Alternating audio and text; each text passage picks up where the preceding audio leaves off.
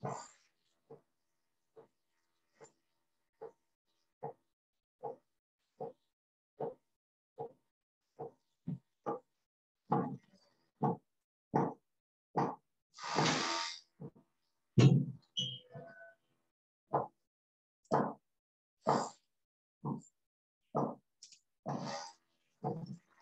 ahí están viendo la presentación. Sí, doctor. Déjenme cerrar la ventana porque se escucha un ruido.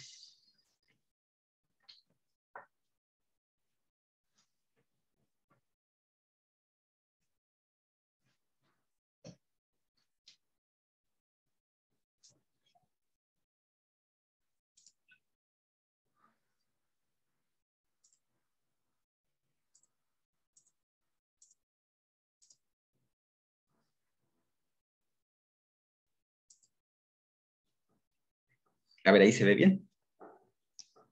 Sí, doctor. Sí, doctor. Sí. Bueno, nos habíamos quedado entonces en esto, ¿no? Déjenme repasar. Habíamos visto que entonces a la hora de dividirse cada célula, tenemos que se van ganando mutaciones. Se van reparando estas mutaciones, pero algunas de ellas pues sí permanecen en las células. Y hay algunas células que entonces tienen una mutación que afecta completamente alguna de sus funciones importantes y pues esas células mueren, ¿no? Cuando tienen esas mutaciones. Pero hay otras células en donde caen mutaciones que no necesariamente afectan a la vida de la célula, entonces esas se pueden seguir manteniendo.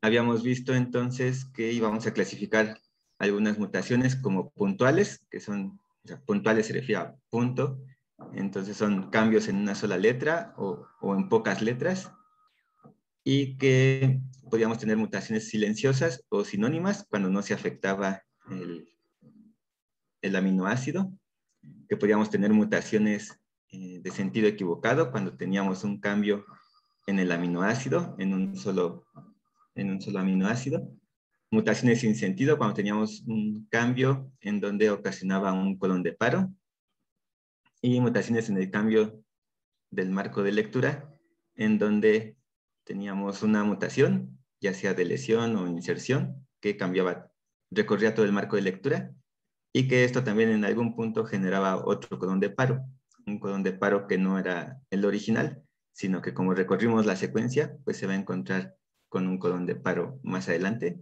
y ahí hasta ahí se va a terminar, además de que están cambiando todos los aminoácidos. ¿Dudas de alguna de estas mutaciones? ¿No? Bien habíamos visto que algunas mutaciones les vamos a llamar polimorfismos porque son frecuentes en la población en general. Y de estos polimorfismos, ah, algunos son por repetidos, que vamos a ver más adelante. Quiero que nos aprendamos estos de microsatélites o STRs, porque los usamos para muchas cosas. Bueno, y también lo de los NBs, mm, que nos va a servir para deleciones o duplicaciones de un solo exón. Son variaciones en el número de copias, CNVs por sus siglas en inglés.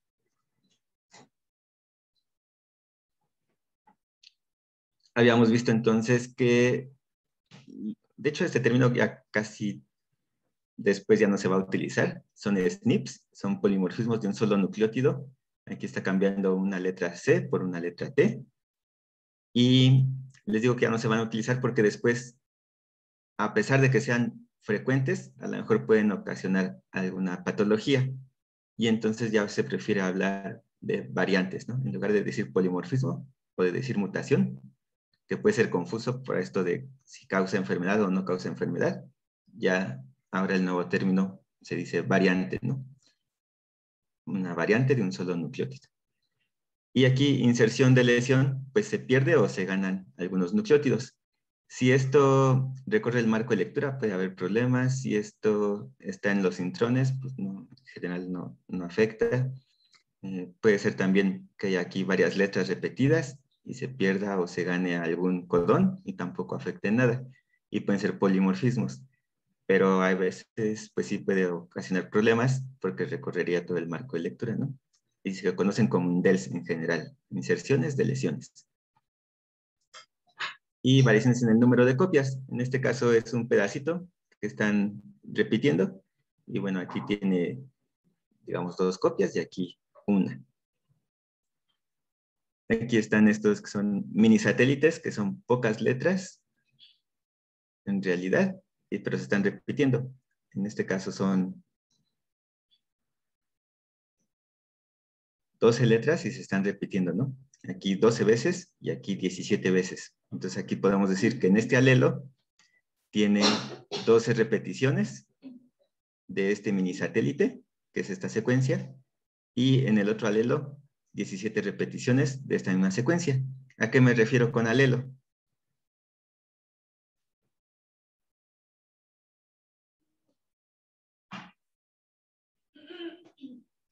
¿Puede repetir esa última parte, por favor? Sí, digo, pero o sea, para entender esto mismo, les preguntaba yo que a qué me refiero con alelo. ¿Es como se expresan los genes? O sea, en diferente manera. Mm, no, no necesariamente. O sea, a veces sí, vamos a ver cuando veamos más adelante epigenética, que sí va a ser de, eh, expresión diferencial. Si un alelo viene del papá o si un alelo viene de la mamá. Pero aquí en este caso, alelo, vamos a referirlo como variante alternativa de un gen. A veces los alelos pueden cambiar. Por ejemplo, aquí tenemos 12 repetidos y en el otro tenemos 17 repetidos. Alelo entonces es el mismo gen, pero de todos los genes que tenemos, vamos a tener dos alelos. Se refiere a la copia de ese gen. No sé si se entendió. Por ejemplo, aquí el 12, este alelo de 12 repeticiones puede venir del papá y el alelo de 17 repeticiones puede venir de la mamá. Si aquí estuviéramos viendo los cromosomas, diríamos, bueno, este cromosoma vino del papá y los genes que están en ese cromosoma vienen del papá y los otros genes que están en el otro cromosoma vienen de la mamá. Entonces, este de 12 repeticiones estaría en un cromosoma y el otro de 17 repeticiones estaría en el otro cromosoma. Entonces vienen de diferente origen, pero corresponderían a la misma homología, los mismos genes. ¿Se entendió? En este caso, por ejemplo, lo que no me queda claro es que si uno es de 12 y otro de 17 y se supone que son, o sea, te contienen lo mismo, entonces solamente en ciertas zonas o tiene que ser el gen completito. No, solamente en ciertas zonas. A veces los genes pues no tienen repeticiones, a veces los genes dentro de la misma secuencia sí tienen repeticiones y son estos, estas variantes. Después vamos a ver algunas enfermedades que son causadas por expansión de estas repeticiones.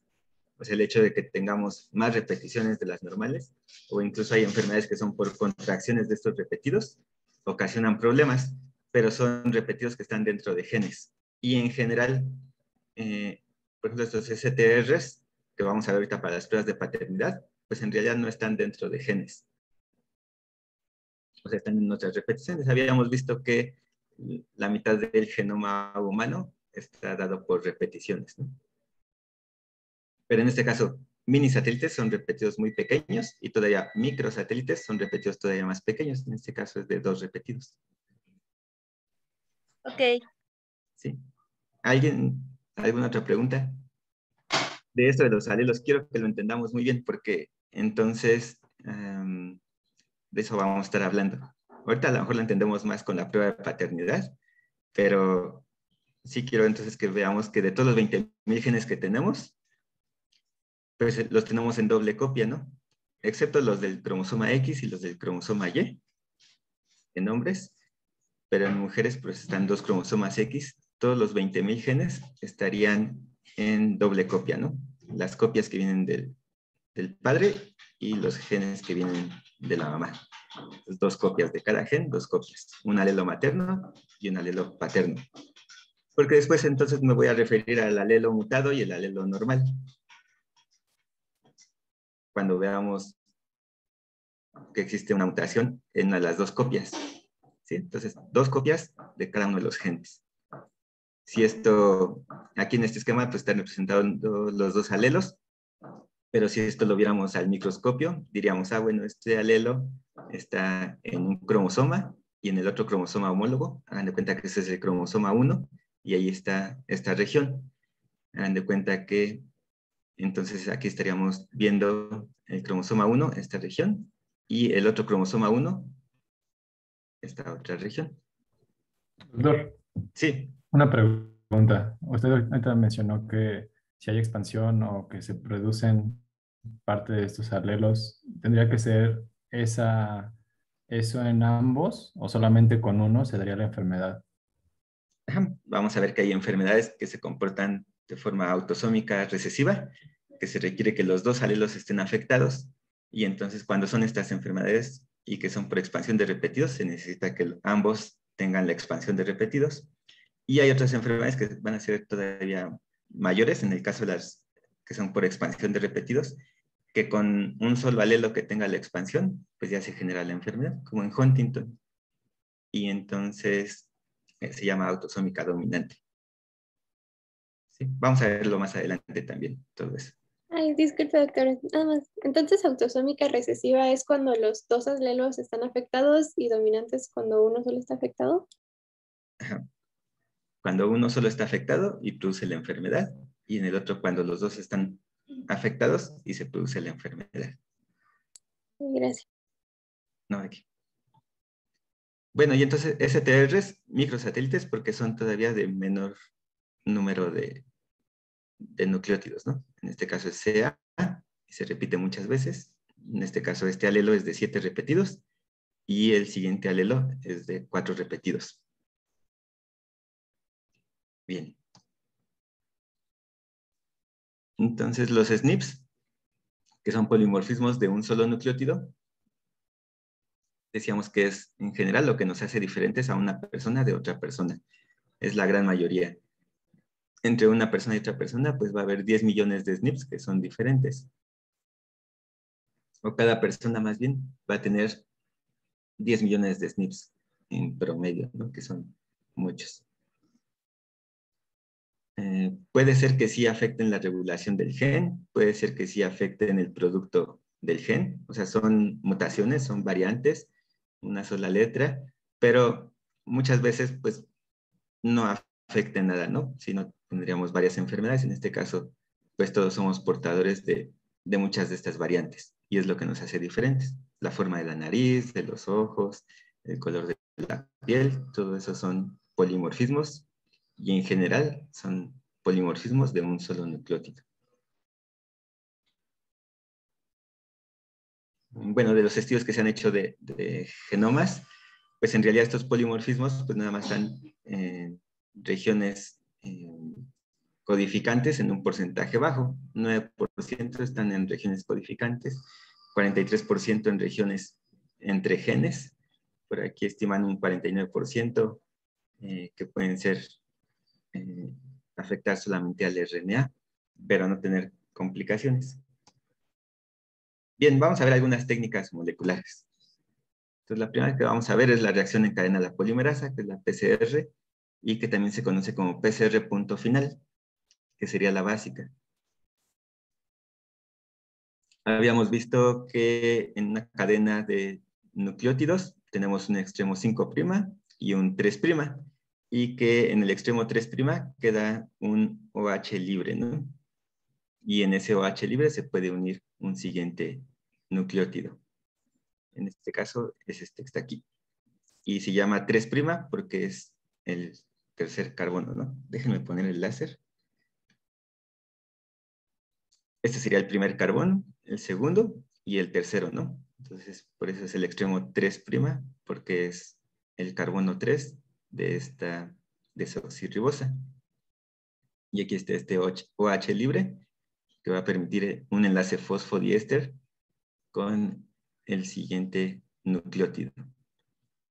Y que entonces eh, una cadena siempre va a estar unida con la otra cadena por complementariedad, que adenina se une con timina y que tenemos dos puentes de hidrógeno y que guanina se une con citosina, formando tres puentes de hidrógeno. ¿Hasta aquí alguna duda de la estructura? ¿No? Bueno.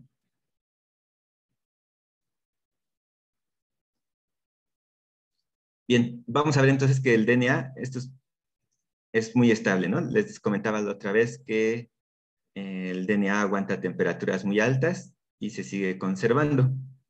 ¿Y por qué sucede esto? Pues los puentes de hidrógeno le dan esa estabilidad al DNA. Cuando nosotros elevamos la temperatura del DNA, podemos ver cómo se empieza a desnaturalizar. Desnaturalizar se refiere a que se rompen los puentes de hidrógeno y entonces se van separando las dos cadenas.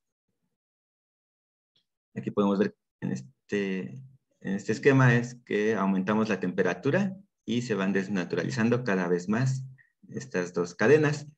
Llega un punto en que tenemos temperatura muy alta y están completamente separadas las dos cadenas. Pero resulta que también tiene la capacidad de que cuando nosotros bajamos la temperatura, este DNA se puede renaturalizar, ¿no? Se puede volver a unir cada una de las cadenas por complementariedad con la otra cadena. ¿A qué me refiero con, por complementariedad? A esto mismo, de que adenina se une con timina, guanina con citosina. Aquí en esta secuencia que es AGCT, por complementariedad se va a unir a esta otra secuencia, TCGA. Aquí, por complementariedad, se va a volver a unir si nosotros disminuimos la temperatura. Bien. Y resulta que sí influye un poco el contenido de adenina timina con respecto a guanina citosina. Aquí en esta curva de desnaturalización están em, graficando algo que se llama temperatura de fusión, que sería el 50% de todas las moléculas que estén desnaturalizadas. Hagan de cuenta que la mitad de las moléculas están desnaturalizadas y la mitad no, a cierto punto de temperatura.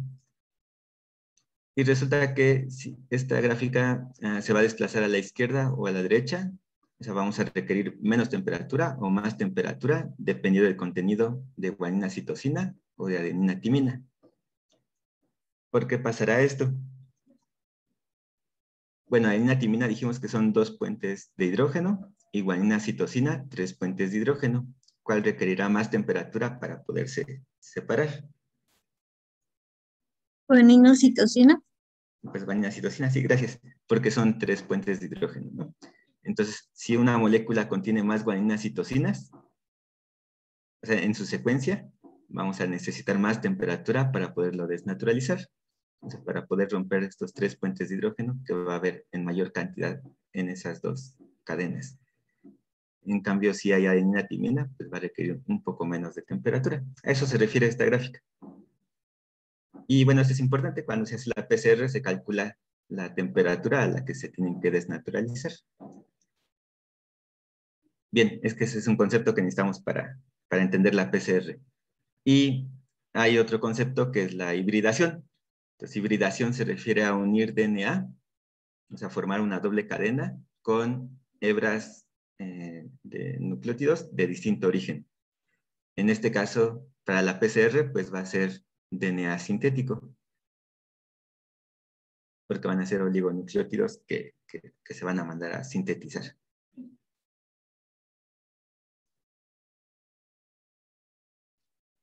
Entonces, el objetivo básico de la PCR va a ser amplificar DNA.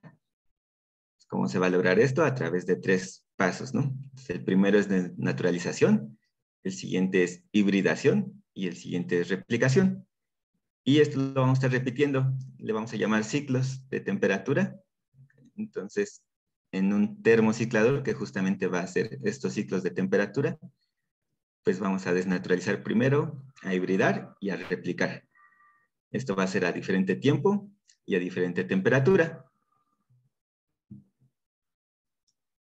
Ah, bueno, y la dirección de síntesis habíamos dicho que es 5', 3'. Vamos a meter una enzima, una polimerasa, que nos va a servir para sintetizar el DNA y lo va a hacer en este sentido, como ya lo habíamos visto, de 5' a 3'.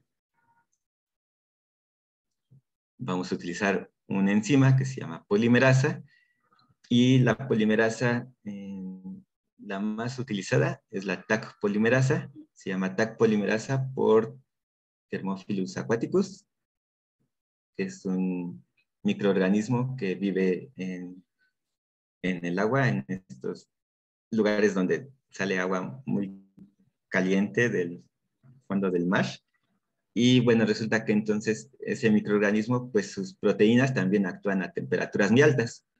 Entonces, su polimerasa de ellos está activa entre 75 y 80 grados centígrados.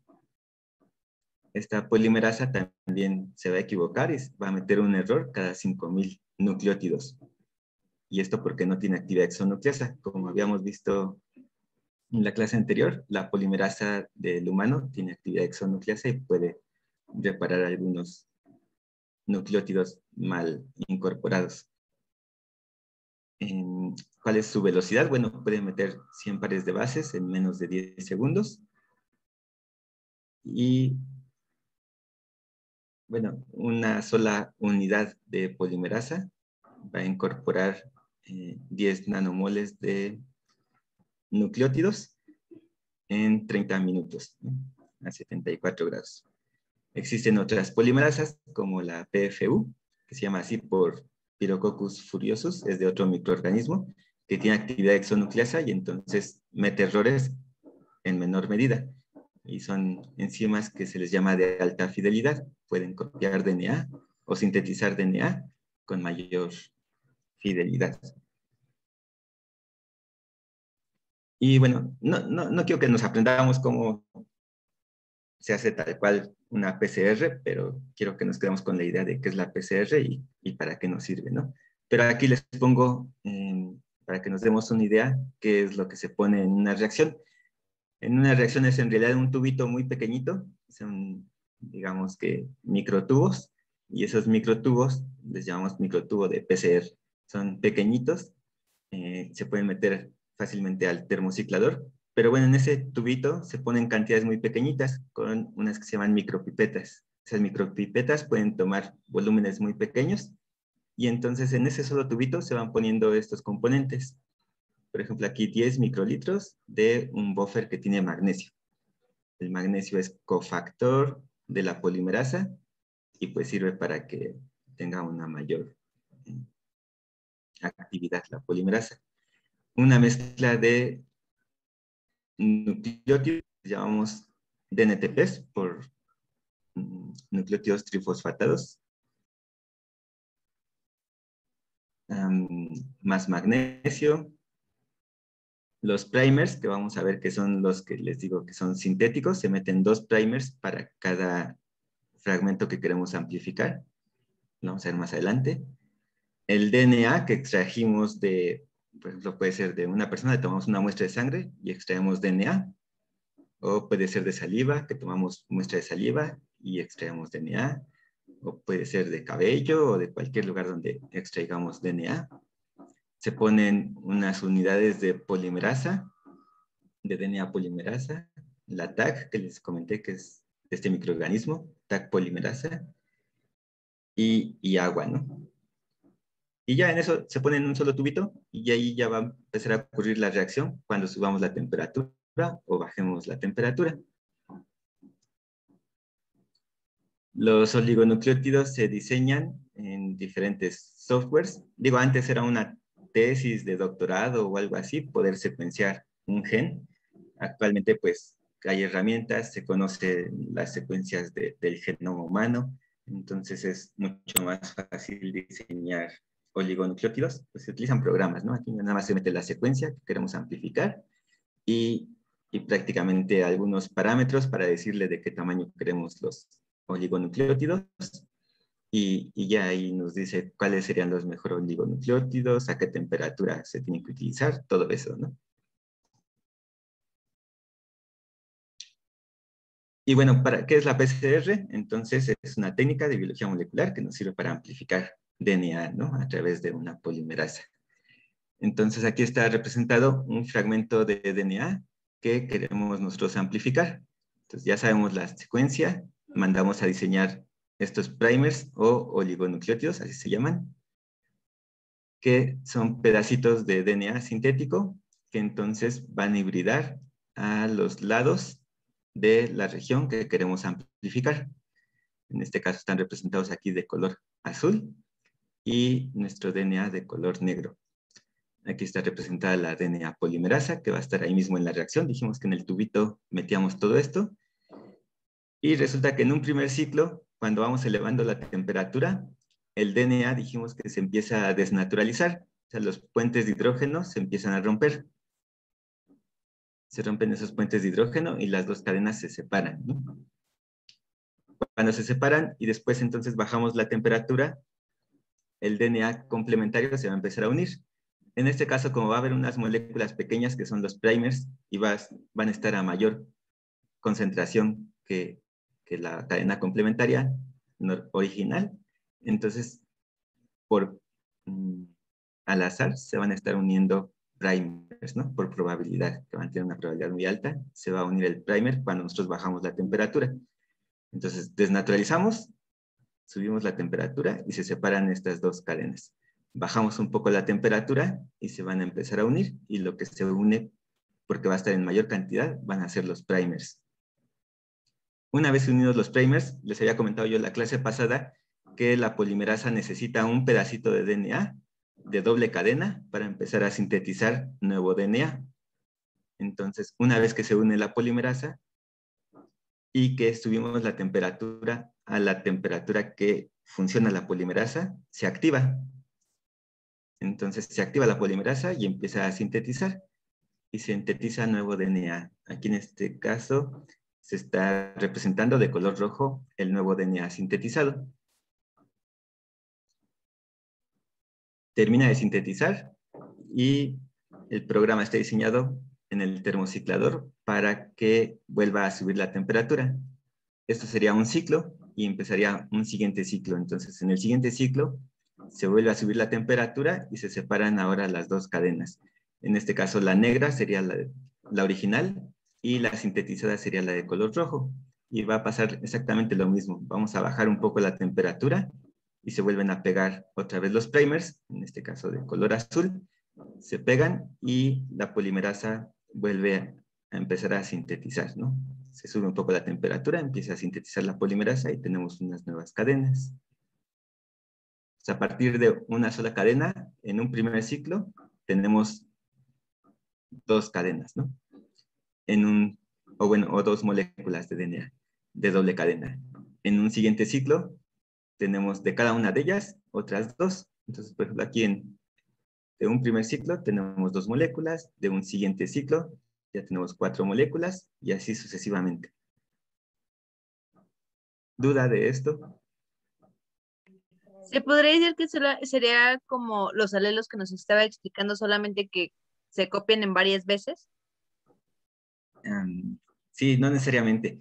Aquí cuando hablamos de alelos me refiero yo a las copias de un gen, ¿no? Entonces, les comentaba yo, de esos 20.000 genes tenemos dos copias, ¿no? Una materna y otra paterna. Están en cromosomas diferentes. Aquí el DNA es de una sola cadena. Entonces, si yo les digo que este es una sola molécula de DNA o un solo gen, pues en realidad es la cadena complementaria de ese mismo gen. Entonces, esto sería un solo alelo. No sé si, me di a entender. Ah, creo que sí, que o sea que solamente viene de una sola persona. Ajá, pero cuando nosotros tomamos una muestra de sangre, en realidad vamos a partir de miles de copias que tenemos y de hecho están los dos alelos involucrados. Entonces, de hecho, vamos a ver que cuando amplificamos por PCR, estamos amplificando ambos alelos. Ahora que veamos la secuenciación, vamos a ver que cuando secuenciamos, en realidad secuenciamos ambas copias del gen, ambos alelos, tanto el materno como el paterno lo estamos secuenciando al mismo tiempo. Y de hecho no podemos distinguir cuál de las dos copias pudiera tener alguna variante. Perdón, ¿sí, sí entendieron la pregunta de su compañera? ¿O sí quedó claro todo? Bueno. Doctor, entonces, solamente lo que se hace es aumentar temperatura, bajar temperatura, aumentar temperatura. Así, nada más es ese proceso.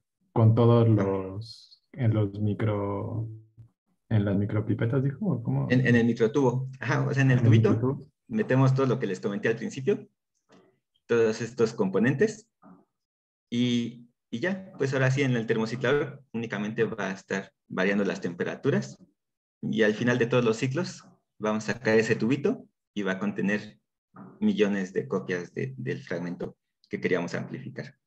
Y eso lo, bueno, por así decirlo, el segmento que queremos eh, ampliar es con, la, con el software que nos enseñó, o sea, con la siguiente diapositiva. Sí, o sea, ya está, eh, se conocen ya las secuencias de los genes, Entonces, pues aquí nada más se pone la secuencia y ya podemos diseñar esos oligonucleótidos. Ok, gracias. Ahora les Doctor, voy- ajá. ¿hay un determinado número para los ciclos o es solo determina el software? Ahorita vamos a ver.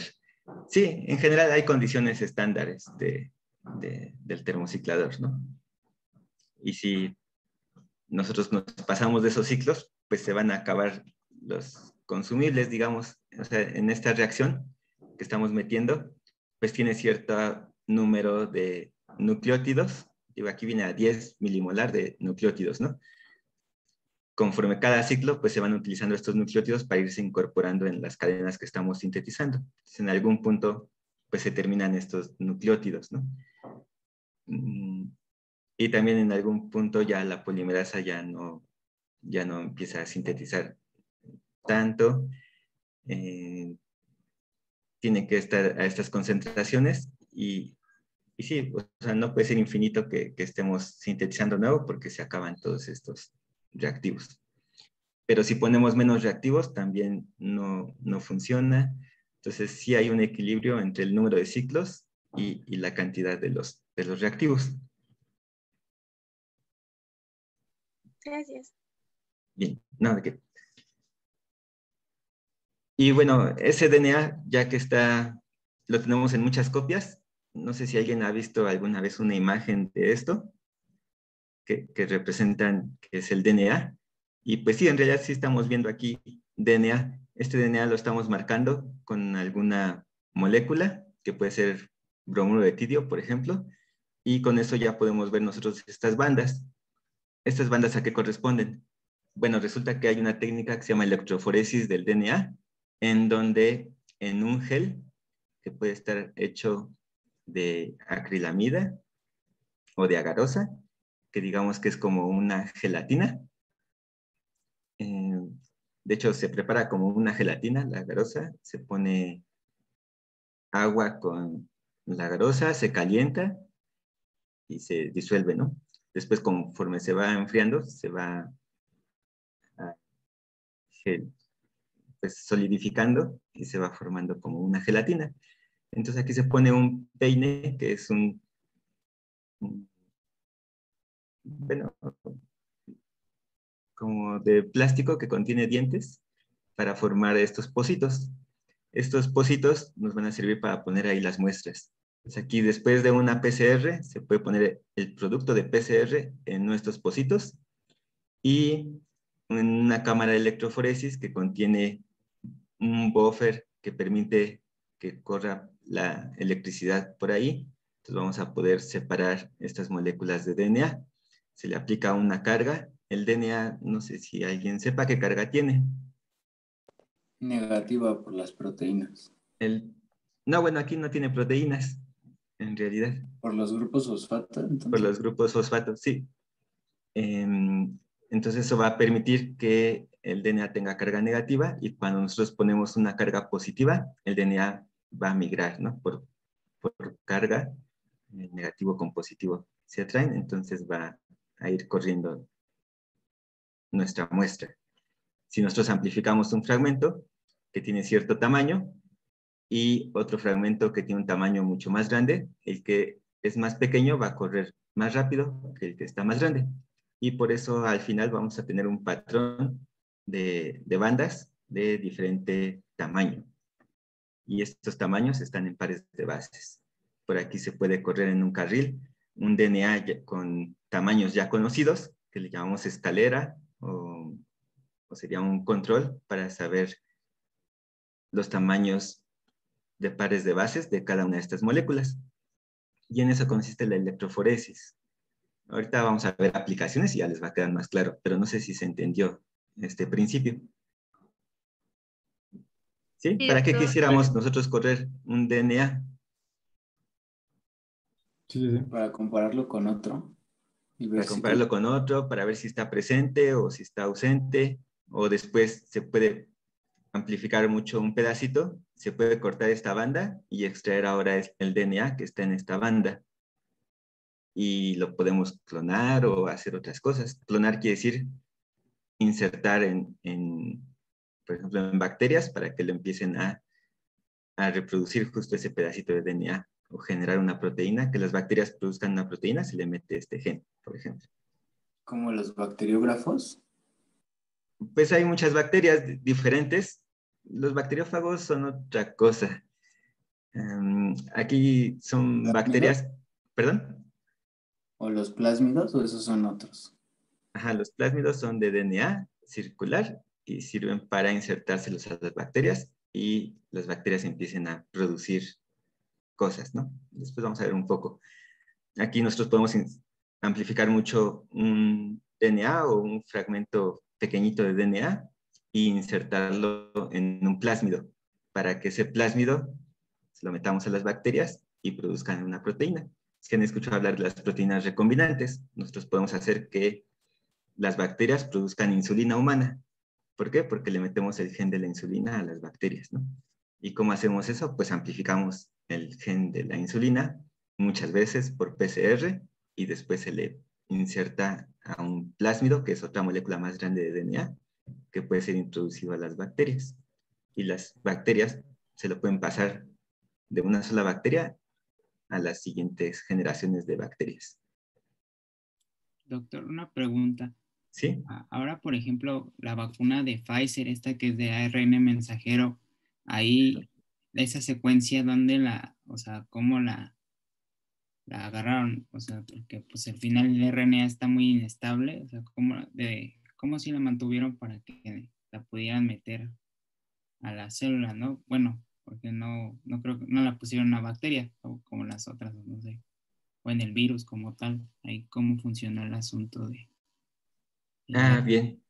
Mm, hay unas, bueno, hay unas moléculas que son de grasa que permiten que nosotros podamos insertar DNA dentro de ellas y que en cuanto llegan con otras células se fusionan con la membrana plasmática y entonces pueden insertar todo su DNA, ¿no? Se conocen como liposomas. Entonces, en realidad se pueden encapsular tanto DNA o RNA fácilmente con esos liposomas. Nada más se ponen a incubar y, y solito se introduce el DNA o el RNA a esas moléculas. Y también, entonces, bueno, esa es una parte. Y también se le puede introducir el DNA a los virus. Los virus, de hecho, como se conocen las secuencias, es ya más fácil eh, generar el virus completo insertándolo dentro de bacterias o dentro de otras células. Entonces, pues existen ya plásmidos. Es que después vamos a ver estos conceptos. Los plásmidos, pues les digo, son DNA circular, pero contienen, digamos, diferentes regiones funcionales o diferentes genes, para que me entiendan. De esos genes, entonces, está el gen para producir la cápside del virus, ¿no? Entonces, está el gen para producir la cápside, está el gen en donde se está metiendo la secuencia de RNA que queremos que se sintetice, está dentro de ese mismo plásmido la secuencia de que se forme todos los genes del virus. Y entonces, pues en una sola célula se pueden insertar tres plásmidos en donde uno tenga la estructura del virus, en otro tenga lo que le queremos meter al virus, en otro tenga otros genes que le queramos meter también al virus, y entonces ya dentro de la célula se va a ensamblar todo el virus. Al final se va a morir esa célula, pero vamos a tener miles de partículas del virus que ya tienen el DNA o el RNA que nosotros queremos que, que, se utilice. Entonces los virus son como también unas maquinitas en donde, en donde podemos hacer muchas funciones e introducir esos DNAs o esos RNAs a otras células cuando las infecten. Digo, a lo mejor es muy pronto. Después, a lo mejor podemos retomar estos temas y, y, nos quedan más claros. Ahorita con esta PCR, nada más quiero que vean que amplificamos DNA. ¿Para qué? Pues va a tener muchas aplicaciones poder amplificar un fragmento de DNA. Bien, entonces, esto es PCR y esto es electroforesis, ¿no? Son dos cosas diferentes. Entonces, en la PCR es el único que consiste es amplificar este fragmento de DNA muchas veces, o sea, generar muchas copias del mismo fragmento. Y en el caso de la electroforesis, pues nada más separar por carga, ¿no? Electroforesis, separar por carga, en este caso carga eléctrica, pero nos ayuda a separar por tamaños. Entonces, en este gel se cargan con esta micropipeta los productos de PCR y los podemos separar.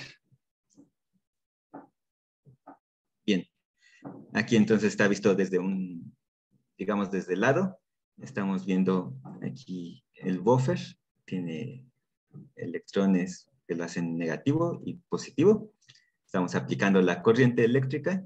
Y si esto lo estuviéramos viendo de lado, un solo gel, este aquí, que lo estemos viendo desde una superficie de un lado, estaríamos viendo el pozo en donde se pone ahí el fragmento de DNA, que ya contiene diferentes tamaños, y por carga entonces se va a separar a lo largo del gel.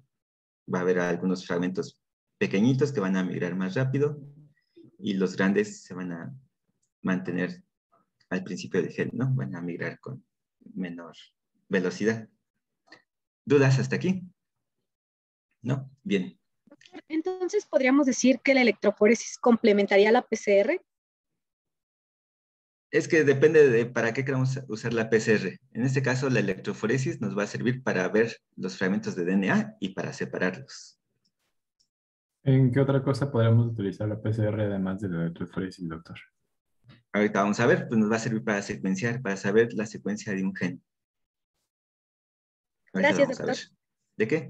Entonces aquí hay algunas aplicaciones de PCR, pues clonación de un gen, construcciones de plásmidos, eh, mutagénesis in vitro, que queramos nosotros hacer justo un cambio en una sola letra, lo podemos hacer con PCR, corte y ligación de fragmentos de ADN, construcción de genes, secuencias sintéticas, mm, ver la expresión de algunos genes con una técnica que se llama RT-PCR, nos va a servir para diagnóstico eh, de enfermedades genéticas o diagnóstico de enfermedades infecciosas, identificación, por ejemplo, de individuos, nos va a servir, aplicaciones forenses, también, como vamos a ver ahorita. Bien, y este es un video de PCR, nada más para que tengamos una idea de qué es lo que está ocurriendo en una PCR. Eh, cambiar al puntero.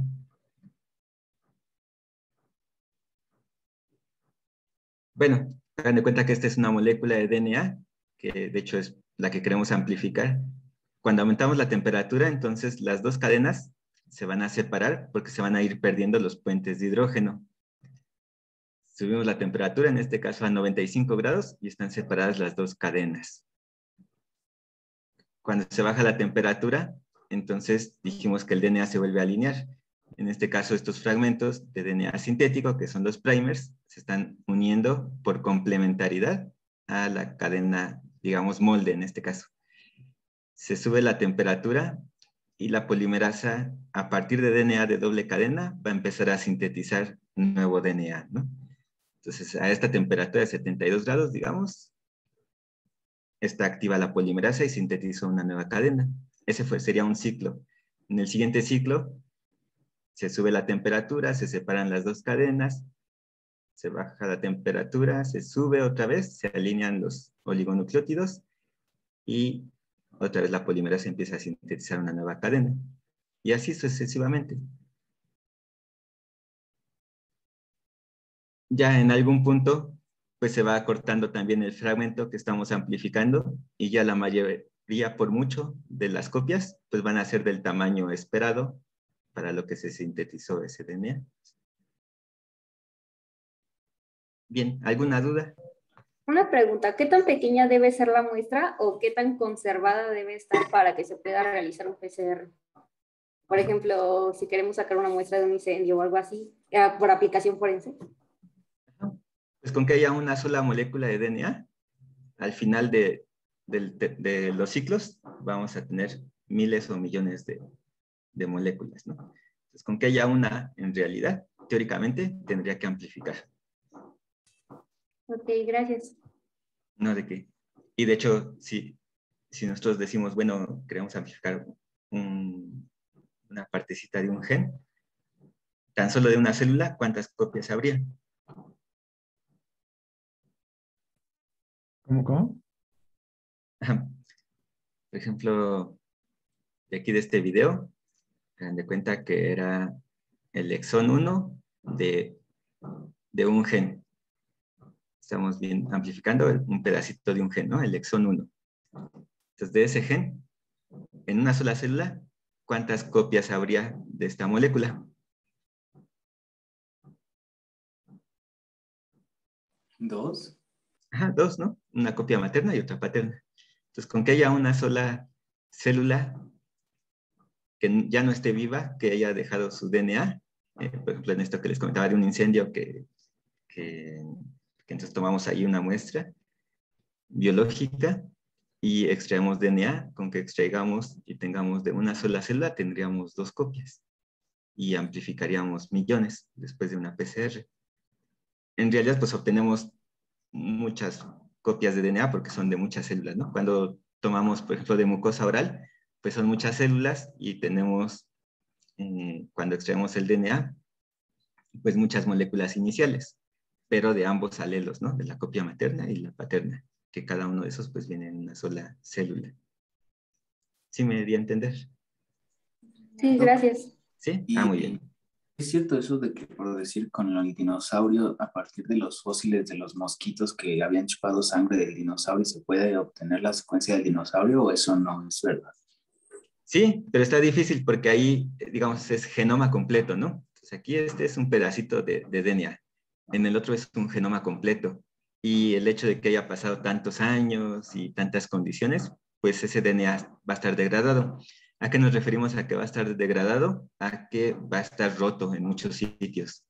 Entonces, si nosotros eh, viéramos todo el genoma completo, veríamos que entonces está roto en muchos sitios pero a lo mejor en una célula está roto en ciertos puntos, en otra célula en otros puntos y así. Entonces, pues se necesita un DNA que esté lo más conservado posible y que se vaya reconstruyendo. Entonces, pues a lo mejor obtenemos algunos fragmentitos y de ahí reconstruimos una secuencia, de otros fragmentos otras secuencias. Entonces, en algún momento tal vez sí se va a poder eh, armar toda la secuencia de un genoma, ¿no? Digo, es más fácil en el mamut porque ese puede ser que estuvo congelado y son muchísimos años menos, ¿no? Que un dinosaurio. Doctor. Sí. Huecos, Ah, perdón, perdón también. perdón, Cleme, este, ¿se le puede rellenar esos huecos que dice que está degradado con material genético de otras especies que actualmente existen? Sí, no tanto con el material genético, sino con las secuencias que ya sabemos que existen, ¿no? Entonces, por ejemplo, del mamut, pues se compara con la de un elefante y a lo mejor se pueden llenar esos huecos. Entonces, ¿sí es probable hacer un dinosaurio o no? Ajá, pues te comento entonces, pues depende de, de, de qué tanto el DNA esté conservado, ¿no? Entonces, si alguien por ahí encuentra, sí, un DNA totalmente conservado, pues sí se va a poder realizar. Gracias. Doctor, y O sea, lo del mamut sí está el proyecto en pie, en algún punto sí se va a realizar. Doctor, Sí. eh, una pregunta. De la, la, cuando hicimos más o menos la presentación, nos puso la imagen que del simio a este, o sea, su era casi 99% Ajá. De que somos iguales. ¿Cuánto sería el porcentaje o qué tan similar sería el de un animal hace tanto tiempo al de nosotros ahorita o al de algún animal? ¿Será muy parecido? Ah, bien. Mm, pues está interesante tu pregunta. Pues no, no podría decirte un número exacto, pero, pero seguramente es más de 100%. O sea, to- todo esto de que compartimos pues dos ojos, dos orejas, mm, órganos internos iguales, o sea, hígado, pulmones, todo eso, pues hace suponer que, que estamos compartiendo muchísimo material genético, ¿no? O sea, ¿por qué? Porque tenemos ancestro en común, a lo mejor ya muy, muy lejano, pero pues sí existió. Ok, gracias. No, ¿de qué?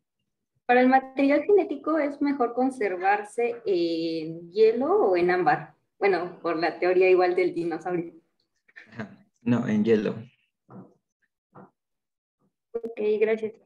O sea, en hielo nosotros, por ejemplo, los productos de PCR se pueden mantener a 4 grados centígrados, que sería la temperatura de un congelador, bueno, de un refrigerador a 4 grados, y pues ahí se mantiene mucho tiempo, ¿no? Sin que se esté degradando el DNA. Se puede meter a un congelador, que digamos que está a menos 20 grados, y durar años. O se puede meter a un ultracongelador que está a menos 80 grados y todavía durar, no sé, mucho, ¿no? Mientras esté a menos 80, ahí va a estar conservado ese DNA. O en nitrógeno líquido, igual que está a temperaturas muy bajas, igual casi a menos 80, no sé cuánto está, eh, igual se va a conservar mientras esté a esa temperatura. Ok, muchas gracias. ¿De qué? Bien, bueno, dudas con la PCR. No, doctor. ¿No? ¿Nadie? Porque se empieza a complicar todo, ¿eh? Bien. Entonces, vamos a ver una variante de PCR, que es la PCR tiempo real. Entonces, en la PCR tiempo real es prácticamente lo mismo. Existe una polimerasa, existen los oligonucleótidos o primers y también las condiciones de, temperatura. Pero aquí una de las ondas que va a ser diferente va a tener una molécula que la vamos a llamar reportera y otra molécula que le vamos a llamar quencher, que digamos que va a opacar a, a, la molécula reportera. En este caso, la molécula reportera tiene fluorescencia y va a brillar. Aquí está representada en color verde y brilla, ¿no? Por sí sola. Pero cuando el quencher está unido a la molécula reportera o está muy cercana, no brilla, está apagado. Es cuando se está sintetizando una nueva molécula y, se, y esta sonda que contiene el gen, o bueno, la molécula reportera y el quencher es eh, rota. O sea, mmm, cuando se está sintetizando nuevo DNA, pues en algún punto va a liberar estas dos moléculas y va a permitir que se libere esta molécula que brilla y entonces va a brillar. Ese sería el principio. No sé si se entendió. Esta sonda es de DNA sintético y está unido con esta molécula reportera y el quencher. Así se manda a diseñar. Por ejemplo, yo diseño, quiero saber de este gen la expresión o el número de moléculas. Ah, bueno, vamos a hacer de cuentas que es mmm, un gen de SARS-CoV-2, ¿no? Del virus de COVID.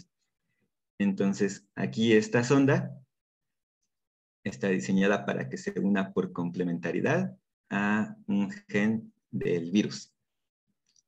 El virus es de RNA, pero vamos a ver que, que, lo podemos convertir a cDNA y analizar. Entonces diseñamos esta sonda que por complementariedad se va a unir a ese gen del virus. Esa sonda la mandamos a diseñar y vamos a pedir que le unan a todas las moléculas de la sonda una molécula reportera y otra molécula que es de quencher. Entonces, cuando estamos metiendo la PCR y se está sintetizando nuevas cadenas, vamos a ver que en algún punto esta sonda que se había unido por complementariedad a nuestro gen de interés, pues se va a separar, se va a desintegrar los nucleótidos que la componían y se va a liberar la molécula que es la reportera y va a generar un, una fluorescencia. El doctor, esto, el, el primer, ¿Es diferente a esta molécula que lleva el reporte del quencher o es ese sí, primer? Aquí estamos usando los dos primers, sería el forward, que digamos que es el que va de 5' a 3' y el primer reverso o reverse primer, eh, que va en el otro sentido. Entonces sintetiza en ambos, pero aquí estamos diseñando una sonda que se va a unir, digamos, a la mitad de, ese gen que queremos amplificar y entonces en cuanto va llegando la amplificación por la polimerasa de uno de las primers y lo libera, es cuando tenemos una señal de fluorescencia. Entonces, ¿qué diferencia del pasado? O sea, solamente tomamos el cachito y es lo que hacemos en grande. El otro era completamente todo el gen lo que hacíamos en grande, ¿no? Lo que amplificábamos. No, también era un pedacito, o sea, depende de- del tamaño que queremos amplificar. Digo, no se amplifican tamaños muy grandes porque la polimerasa no, no puede amplificar tanto, ¿no? Y va a empezar a meter más errores. Nada más son pedacitos, o sea, si eso fuera un gen, por PCR, en realidad secuenciamos de fragmentitos, de exones en exones. Aquí la diferencia con el otro es que estamos metiendo esta zona, esta sonda que tiene un reportero y el quencher. O sea, lo demás sería prácticamente lo mismo. Ok. ¿Sí? Bien. Entonces, el termociclador aquí va a ser un poco diferente porque va a tener una cámara que va a estar detectando la señal de fluorescencia. Aquí tiene unos filtros que permiten que se filtre, digamos, esa fluorescencia y la podamos detectar. Pero es igual, en los termocicladores lo que tienen es aquí una placa donde se puede meter nuestros tubitos de pequeñitos y esta placa puede subir la temperatura rápidamente o bajarla y se puede programar desde, desde el mismo software de- del equipo. Entonces ahí se pueden programar los ciclos y esto sube la temperatura muy rápido y también tiene ventiladores y todo para enfriar y baja la temperatura rápido. Entonces lo que hace este equipo es que puede detectar con estos filtros que están aquí representados, puede detectar eh, la fluorescencia. Entonces, cada vez que se libera una de estas moléculas, va a emitir fluorescencia. Esa fluorescencia la vamos a detectar en el termociclador de tiempo real. Entonces, para que nos quede todavía un poquito más claro, aquí es un ejemplo para ah, detectar un virus, ¿no? Entonces aquí, ahorita que está lo de SARS-CoV-2, pues se toma una muestra nasofaringia o orofaringia con un hisopo, se pone en un medio de transporte viral. En ese medio después se utiliza para extraer el RNA. ¿Cómo se extrae el RNA? Pues se lisa todo lo que hay ahí, ¿no? En este caso queremos lisar al virus, ¿no? O sea, lisar me refiero a destruir las cápsides y las la- en donde está contenido el RNA. Em, ese RNA en un ciclo inicial vamos a sintetizar el DNA que es complementario, se llama cDNA. Entonces aquí utilizamos una enzima que es RNA polimerasa para sintetizar. Eh, no, perdón, esta, esta primera enzima es una retrotranscriptasa que nos va a servir para generar el DNA complementario, ¿no? Entonces va a sintetizar a partir de una molécula de RNA, va a sintetizar DNA por complementariedad. Y esto en un primer ciclo. Después de ese primer ciclo, ya lo que tenemos es cDNA. Ese cDNA ya con la polimerasa, que es la misma de la PCR, de hecho se llama TAC polimerasa. Esa polimerasa entonces va a permitir sintetizar mm, varias moléculas de DNA, ¿no? Se pone por ahí esta sonda que les comentaba que tiene una unidad de fluorescencia o, reportera, una molécula reportera, y uno que es, se le dice quencher, ¿no? Que está inhibiendo a la molécula reportera. En cuanto pasa la DNA polimerasa y sintetiza una nueva cadena, eh, va a liberar esta molécula de fluorescencia y vamos a tener una señal de fluorescencia, ¿no? Y por ejemplo aquí tenemos millones de copias después de 40 a 50 ciclos y, y vamos a tener cierta cantidad de fluorescencia. En cada uno de los ciclos la vamos a estar detectando con este equipo que se llama termociclador de tiempo real. Y lo que nos va a dar es una gráfica. En cada ciclo detecta la fluorescencia. Entonces, hace un ciclo, toma una fotografía, detecta la fluorescencia y nos la marca aquí. Al siguiente ciclo, toma otra fotografía y nos detecta la fluorescencia del siguiente ciclo. Y así sucesivamente, y vamos a tener esta gráfica. Aquí está otra vez. A los 10 ciclos, pues a lo mejor hay poquita fluorescencia, pero ya después de ciertos ciclos, o sea, cuando hacemos la PCR, después de cada ciclo, es exponencial. O sea, al principio, en un ciclo, tenemos de una molécula, tenemos dos. Luego, en el siguiente ciclo de esas dos, pues tenemos lo doble, ¿no? Y así sucesivamente. Entonces, al final de unos ciclos tenemos millones de, de copias. Lo que hace aquí en este equipo es detectar los niveles de fluorescencia en cada uno de los ciclos. ¿Se entendió esto? ¿Y de dónde se saca la transcriptasa inversa? ¿Se, sintetiza o se obtiene de otro virus? Sí, ya, por ejemplo, las polimerasas nuevas, estas TAC polimerasas, ya son sintetizadas. ¿Cómo se sintetizan? Igual se conoce la secuencia. Son, al final de cuentas son proteínas. Son, son enzimas, pero son proteínas, ¿no? Están codificadas dentro de un DNA. Entonces, por ejemplo, de la TAC polimerasa, pues ya no se tienen que cultivar estos estos microorganismos que les decía que, la contenían, sino que ahora se conoce toda su secuencia y entonces se pueden clonar, ¿no? Se mete en otras bacterias. E. coli, por ejemplo, pues se conoce muy bien y, y, es la que se utiliza para sintetizar nuevas cosas o para clonar.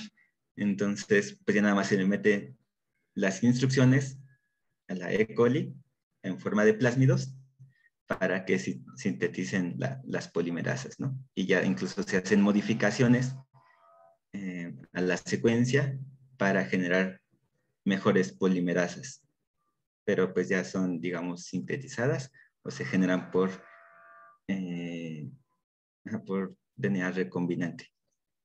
Doc, ¿y estas enzimas tienen un tiempo de vida útil? Es decir, o sea, me imagino que compra, ¿no? A la marca que las haga o al laboratorio.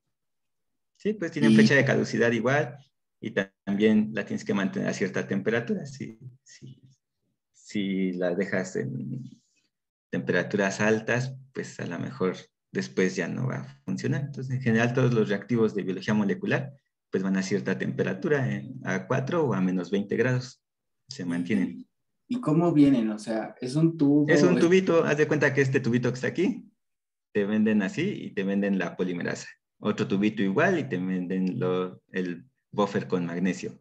Otro tubito igual y vienen los primers. Que los primers también se, se mandaron a sintetizar. Y así, en otro tubito tienes también el DNA. Entonces, al final mezclas tubitos. Tú en realidad lo que ves es líquidos transparentes, agüita, que estás mezclando, pero pues son todos los componentes. Entonces en el tubo ese que comenta viene la enzima con un vehículo, o sea, algo para que se pueda mezclar. Sí, con buffers, ajá. Todo, está en buffer. Gracias. No, ¿de qué? Doctor, entonces ahorita, por lo mismo del COVID, la que se está empleando es este tipo de prueba, esta en específico. Ajá, esta que se llama QRT-PCR y vamos a ver que es cuantitativa.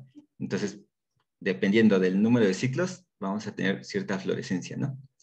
Entonces, una muestra negativa, pues no amplificaría nada, ¿no? Y no tendríamos fluorescencia. Y esa sería una PCR negativa. Una PCR positiva, pues tendríamos alguna de estas curvas. Entonces, esa misma prueba viene con varios controles. Entonces, amplifica tanto un DNA humano como el DNA del virus, por ejemplo, de COVID, ¿no? De SARS-CoV-2. Entonces, podemos saber, comparando entre la gráfica del DNA control, por ejemplo, aquí que ya sabemos que este azul es un DNA control interno de la reacción y el verde es un DNA que va a amplificar porque es un gen humano. Cuando nosotros tomamos una muestra nasofaringea, pues en realidad hay células humanas porque se descaman ¿no? del, del, epitelio de la mucosa. Y, y también si estuviera infectada esa persona, pues tendría el virus. Se hagan de cuenta que esta que está en color rojo sería la curva de un, gen del virus y la verde la curva de un gen humano y la azul de un gen que, está, que viene dentro de, del kit de PCR que sería algo que ya está controlado y sabemos cuánto es el número de moléculas que hay. Entonces, eh, dependiendo de cómo se comporta esta curva, por los niveles de fluorescencia, podemos saber los niveles también del virus o la carga viral. Entonces, por ejemplo, si, si tuviéramos una curva muy hacia la derecha, quiere decir que necesitamos más ciclos para tener esa curva, entonces quiere decir que hay menos virus. Si tenemos una curva más hacia la izquierda, con menor ciclos, tenemos mucha fluorescencia y podemos saber entonces que hay más carga viral del virus con, respecto a los controles. No sé si me di a explicar. Entonces, con, con esta técnica de QRT-PCR, que se utiliza, por ejemplo, para SARS-CoV-2, podemos saber también la cantidad de virus y podemos saber si hay una carga viral alta, baja o poca o es negativa. Que dependiendo del ciclo o del número del día de la infección, pues vamos a ver que, que hay cargas menores o, o la carga viral más alta. O si de plano es negativa y es muy sensible, o sea, vemos que entonces con que haya unas pocas copias del virus, o sea, por ejemplo, estos kits para SARS-CoV-2, pues con 10 copias del virus te pueden detectar que es positiva. Porque la PCR, les digo, es muy sensible. ¿Dudas? Mm, creo que no. ¿No? Bien. Creo que Entonces, hay, hay moléculas que se pueden unir al DNA y, y con eso lo podemos visualizar, ¿no?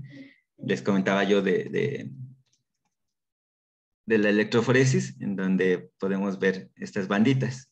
Entonces hay moléculas que combinamos nosotros con nuestro producto de amplificación de PCR y hacemos que entonces se pueda visualizar ese DNA. Aquí con una lámpara ultravioleta podemos ver que el bromuro de tidio brilla de este color y entonces podemos ver fácilmente los pedacitos de DNA amplificados, ¿no? Esto en el caso de la electroforesis. Y uno de esos componentes, pues es el bromuro de tidio. Se puede meter al DNA, se intercala dentro del DNA y entonces va a permitir que con fluorescencia, con rayos ultravioleta, pues brille ese DNA. Bien, ¿hasta aquí alguna duda? Vamos a ver ya algunos ejemplos para que veamos que esto tiene alguna aplicación. Yo tengo una duda Sí. en cuanto a esta parte de, bueno, no sé si ahorita lo comente, pero pues en el caso a lo mejor de una violación o una, un robo, algo por el estilo, este, se, obtiene, se obtiene el material genético de la, de la, siempre y cuando haya una muestra, ¿no? Ajá. Pero, o sea, se tiene que haber un, uno o varios sospechosos que cometieron el siniestro, ¿no? O sea, no es como que, o sea, y con esos sospechosos se les hace la, la prueba de nuevo y se compara y si es similar, pues es el culpable, ¿no? O igual. Pero si no existe ningún sospechoso, o, pues no se puede saber, ¿no? Ajá. Pero ya está esa información. O sea, en cuanto haya alguien, otro sospechoso o detengan a alguien, pues se puede comparar con esa información. O sea, lo que vamos a obtener es un perfil genético. Ahorita lo vamos a ver cuando veamos la, Y, las pruebas de paternidad. O sea, con ese perfil lo podemos incluso comparar. Digo, en Estados Unidos, por ejemplo, pues tienen bases de datos de, de todas las personas que, que a lo mejor pasan por un proceso legal de este tipo y pues ya tienen su DNA. Entonces, obtienen algo y comparan ese DNA con esa base de datos. Y pues ahí a lo mejor es más fácil identificar. Aquí en México tal vez se compara ese DNA con, sí, sí, también existen bases de datos, pero así como dices, o sea, si hay un sospechoso es, es más fácil, se saca su perfil genético. y por decir, cuando alguien muere quemado, ¿no? O así, calcinado, ¿cómo se obtiene ese material? Pues el DNA en realidad también está en los huesos.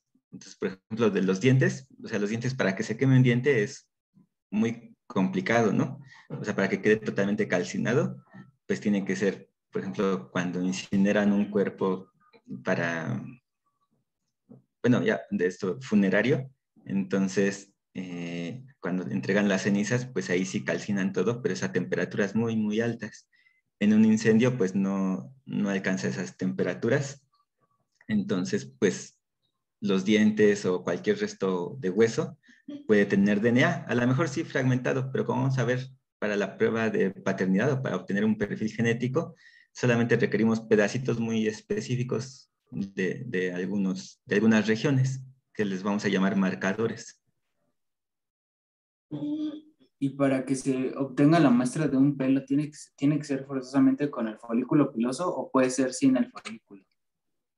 Eh, tiene que ser con el folículo. Gracias. ¿De qué? ¿Por qué? Porque en el folículo están las células vivas, no tienen el DNA degradado.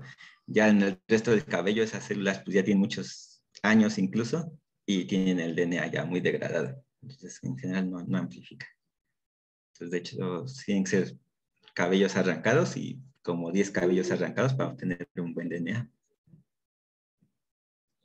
Bien. Bueno, vamos a ver algunas aplicaciones. Aquí está representado el cromosoma Y. El cromosoma Y tiene unas regiones que se llaman AZF, que se llaman así por azospermia. Entonces hay pacientes que tienen azospermia, o sea que tienen pocos espermatozoides o que no producen espermatozoides, y resulta que tienen una delesión en alguna de estas regiones. Son genes que tienen que ver con espermatogénesis. Entonces, hay una prueba que nos sirve para amplificar cada una de estas regiones y poder determinar si están presentes o ausentes. Al igual que unos genes que se llaman SRY. Eh, ese gen SRY, que después lo vamos a ver cuando veamos trastornos de diferenciación sexual, pues es importante, es el que determina que, que alguien se, que se está formando, un embrión, se diferencie hacia masculino o hacia femenino. En presencia de ese rey se diferencia hacia masculino. Y en esta técnica pues amplificamos esas regiones con diferentes tamaños para poder determinar si están presentes o no están presentes. Y se hacen, habíamos visto PCR punto final, aquí es una variante que se llama PCR multiplex. En la PCR multiplex, en un solo tubito, se están metiendo ligos para diferentes regiones. Entonces, por ejemplo, aquí en esta PCR, que es la A, se está metiendo para un gen que se llama DAX1, para un gen que se llama SRY, todo eso en un solo tubito. Igual en esta otra PCR multiplex se meten para otros, para otros genes en, un solo tubito y aquí otra PCR. Entonces serían tres PCRs multiplex, ¿no? Y estamos viendo diferentes genes. Entonces aquí un caso de asospermia, en donde tenemos el DNA marcador, que les comentaba yo, es un DNA que ya se sabe de los tamaños, se hagan de cuenta que este es un gel, se pone en este postito el DNA eh, marcador, que es la escalera o, digamos el DNA control para saber los tamaños. Aquí estas que brillan más y el patrón que tienen, podemos saber, ah, bueno, esta banda es de 300 pares de bases, este es de 700 pares de bases y este es de 100 pares de bases. O sea, aquí estamos metiendo el DNA de un paciente, el DNA control de alguien que ya sabemos que, tiene todas esas regiones y un control negativo, que en este caso podría ser el de, el de una mujer, y una reacción blanco, ¿no? Para ver que esta reacción pues, no está contaminada con, con DNA. Es, cuando se trabaja DNA, es fácil que se contamine con DNA algún reactivo. Entonces, en este caso, eh, para esta reacción multiplex A, dijimos que estamos amplificando estos genes o regiones dentro de estos genes y que nos van a dar un producto de un tamaño de pares de bases ya esperado, ¿no? Aquí 531 pares de bases, 400, 340, 228, 196 y 124. Entonces, estos mismos eh, regiones que estamos amplificando tenemos ya un tamaño esperado en base a lo que se diseñó de los, de los primers. Y cuando acaba la PCR y hacemos la electroforesis, podemos ver que amplificaron estas mismas regiones que les comenté en este paciente. Con respecto al control positivo, pues tiene las mismas, ¿no? El control negativo no las tiene y ya podemos decir, ah, bueno, este paciente no tiene de lesión en ninguna de esas regiones. Para el multiplex A, el multiplex B, o sea, otra reacción, y el multiplex C. No sé si se entiende. Dice amplificación de grupos de PCR multiplex para la detección de secuencias o marcadores del cromosoma Y. La imagen muestra el ADN del paciente, eh, un ADN masculino control, un ADN femenino, que es el control negativo, y una reacción blanco. Y pues ya estamos comparando que, que lo que amplificó en el paciente pues sean las mismas bandas que amplifican en el control positivo. ¿Se entiende? Doctor, y si tuviera de lesión, ¿cómo se vería en el paciente? ¿Se verían espacios en blanco?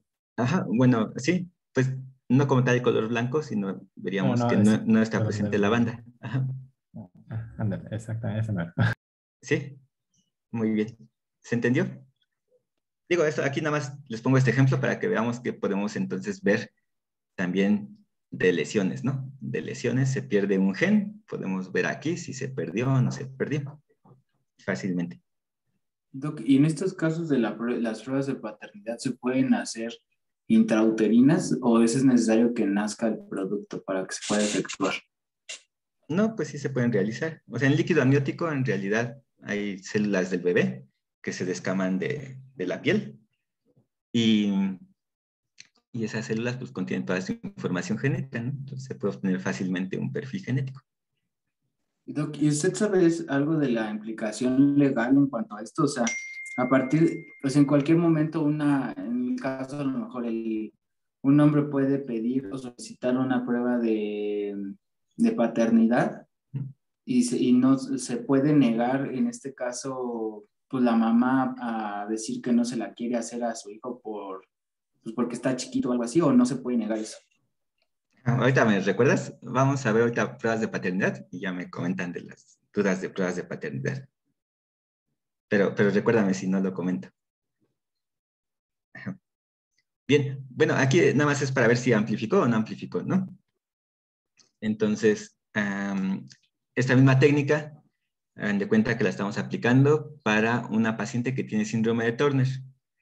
Eh, vamos a ver después síndrome de Turner, pero es causado por una monosomía del cromosoma X. O sea, quiere decir que se perdió un cromosoma, ¿no? Un cromosoma sexual. ¿Y cuál se pierde, el X o el Y? El X es mujer. El Y se pierde, ¿no? Mm. Ah, bueno, se puede perder entonces en realidad cualquiera de los dos, ¿no? O sea, el síndrome de Turner, vemos pacientes mujeres. ¿Por qué? Porque nada más tienen un cromosoma X. Ah, ustedes recordarán, 46XX sería lo normal en mujeres y 46XY lo normal en hombres. Pero estas pacientes que tienen síndrome de Turner tienen 45X. Solamente tienen un cromosoma sexual y es el cromosoma X. Todas son mujeres porque les comentaba yo hace ratito, en el gen SRY está codificado para producir una proteína que es lo que hace que se diferencie hacia masculino y está presente en el cromosoma Y. Si no hay cromosoma Y, no se va a diferenciar hacia masculino y se va a quedar como femenino. Entonces, síndrome de Turner, en general, uno de los cariotipos más frecuentes en estas pacientes, porque hay varios cariotipos que podemos ver que tienen alteración en los cromosomas sexuales, pero de los más frecuentes sería 45X y sería entonces monosomía de cromosoma X y se está perdiendo un cromosoma. Pero no podemos saber entonces si se perdió un cromosoma X o si se perdió un cromosoma Y. Y resulta que la mayoría de estas pacientes son mosaico. Mosaico vamos a decir que tienen dos líneas celulares, unas células eh, con una línea celular y otras células con otra. Los pacientes que tienen síndrome de Turner pueden tener a lo mejor algunas células que sí son 46XX o 46XY. Y hacemos esta técnica de PCR para amplificar genes que estén en el SRY. ¿no? Entonces hagan de cuenta que aquí para esta paciente eh, se está tratando de amplificar estas regiones. Aquí tenemos DNA de una persona masculino que sí tiene cromosoma Y entonces, esta técnica es para amplificar marcadores en el cromosoma Y. Es como la anterior que les presenté. Aquí está el control positivo, que sería de un DNA masculino, el control negativo de un DNA femenino y el control blanco. ¿Y qué es lo que estamos viendo aquí?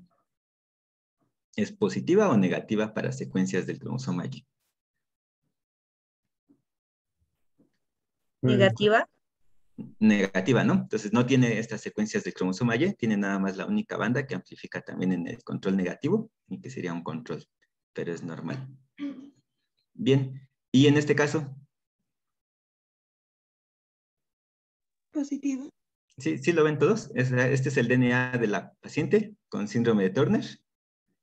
Este es un control positivo que es masculino y este es un control negativo. Y está amplificando estas regiones que están en el cromosoma Y ¿Qué implicación tiene esto? Bueno, que esta paciente entonces en algunas células tiene el cromosoma Y. ¿Sí? ¿Se entiende? Sí. ¿Sí? Bueno, entonces, ¿y para qué le hacemos esto a una paciente con síndrome de Turner? Que, bueno, en, el cariotipo, que en realidad en el cariotipo nada más analizamos 30 células, en esas 30 células se analizó y tenía nada más 45 cromosomas con un X. Bueno, resulta que si una paciente que tiene síndrome de Turner tiene secuencias del Y positivas, puede ser que tenga entonces células 46XY y lo peligroso es que en gónadas tenga 46XY, porque esas pacientes que tienen secuencias del Y positivas y que tienen gónadas que no son funcionales, ¿no? De por sí, en síndrome de Turner, vamos a ver cuando veamos síndrome de Turner que esas gónadas no son funcionales. Les llaman estrías gonadales porque no, no llegaron a desarrollarse ovarios. Y entonces se detecta que tienen XY, entonces hay que extraer las gónadas porque tienen riesgo de malignizarse y de desarrollar un tumor que se llama gonadoblastoma, que digamos que es cáncer. Entonces, este estudio se tiene que realizar a las pacientes que son 45X para saber si no tienen secuencias de XY, porque si tienen secuencias de XY, pues tienen que meter a operación lo más pronto posible. ¿Se entendió? Sí. Muy bien. Bien, entonces aquí estamos utilizando la PCR para saber si está presente o si no está presente en una región fácilmente, ¿no? Y vamos a ver otra técnica que es secuenciación.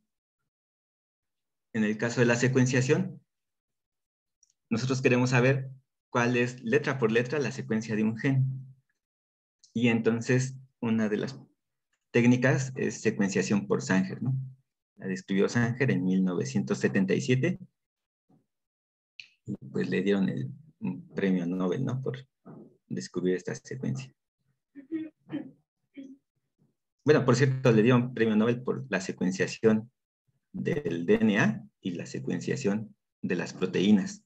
Con su técnica, él vio cómo secuenciar letra por letra los nucleótidos de un gen y también aminoácido por aminoácido la secuencia de las proteínas.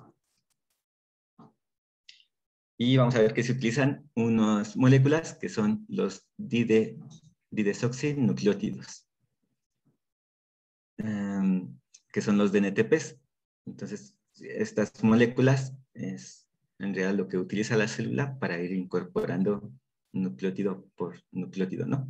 Tienen el extremo 3' y tienen uno H y permiten que se introduzca un nuevo nucleótido. Pero Aquí vamos a ver que se están metiendo unos que se llaman dideoxinucleótidos. Estos serían los desoxinucleótidos, que serían lo normal que, que se mete en una PCR, o lo normal que hay en la célula para sintetizar nuevo DNA. Pero en esta reacción de secuenciación se van a incorporar unos que son dideoxinucleótidos, entonces les faltan dos oxígenos, ¿no? Aquí en lugar del OH libre, tienen nada más un H. ¿Qué es lo que pasa con esta molécula? Que no se puede meter al extremo 3' un siguiente nucleótido. Y entonces, cuando se incorpore un dideoxinucleótido en la reacción, pues hasta ahí se va a detener esa reacción porque no se va a poder incorporar el siguiente nucleótido. ¿Se entendió esto del dideoxinucleótido? Sí, doctor. ¿Sí? Bien, me dice cualquier persona que si alguien no lo entiende, me, dice. ¿eh? a mí no me quedó muy claro lo del deoxinucleótido. Ah, sí, está bien. O sea, el, el DNA de por sí pues, no tiene un oxígeno aquí, se llama desoxi ATP, ¿no? los nucleótidos que, que están presentes. En este caso, se van a utilizar otras moléculas que van a estar modificadas para perder este oxígeno. Habíamos dicho que en este OH se une el siguiente nucleótido cuando la polimerasa pasa y une eh, este extremo 3' al 5' del siguiente nucleótido, ¿no? Con este OH2C. Entonces forma el enlace fosfodiéster. Eh, y así sucesivamente para cada reacción y incorporándose nucleótidos, ¿no? A través de este OH en el extremo 3'. Habíamos dicho que la cadena crece de 5' a 3' porque está justo este 3' libre, en donde permite la unión con el siguiente nucleótido. Entonces, en estos dideoxinucleótidos están eh, modificados Por ejemplo, este es un dideoxinucleótido de adenina, que es ATP. Aquí le está faltando un oxígeno y entonces va a impedir que se una el siguiente nucleótido, que se llaman dideoxinucleótidos. ¿Sí? Sí, doctor. Sí, ahorita vamos a ver para qué sirve. Entonces, aquí eh, estamos sintetizando a lo mejor una nueva cadena y se va a unir una adenina. Entonces, esta adenina del siguiente nucleótido se va a incorporar con una reacción que ocurre entre este OH y el, grupo trifosfato ¿no? del, nucleótido. Entonces, lo normal es que ocurra esta reacción y entonces se une ya aquí de este extremo 3' al extremo 5' del siguiente nucleótido. Y ya por eso la cadena va creciendo de 5' a 3'. Lo que va a suceder con estos dideoxinucleótidos es que no tienen este OH. Entonces, en cuanto se incorporó este dideoxinucleótido de citosina y se iba a incorporar ahora el siguiente nucleótido, que era una adenina, ya no se puede incorporar porque falta este oxígeno. Y hasta ahí se va a terminar esa reacción de, de amplificación. Estábamos amplificando, pero se incorporó esta citosina y ya impide que se vuelva a incorporar los siguientes nucleótidos. Hasta ahí se detiene. ¿Sí? ¿Se entendió esto entonces? El, el dideoxinucleótido, que es el que le falta el oxígeno, va a impedir, impedir que se vuelva que se una el siguiente nucleótido. hasta ahí se va a acabar la reacción.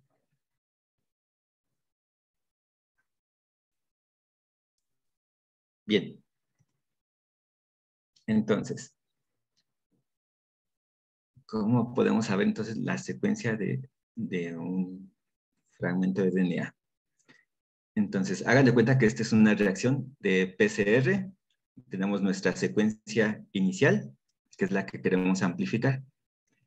Entonces, conforme van a ocurrir los ciclos, mm, perdón, a la persona que, que, descubrió la PCR o que la diseñó, también obviamente le dieron un premio Nobel, ¿no? Bien, les digo esto porque entonces son técnicas ingeniosas. Entonces lo que hace en la secuenciación es amplificar igual este primer fragmento, pero en la reacción de secuenciación están incorporados, eh, a ver, un tantito.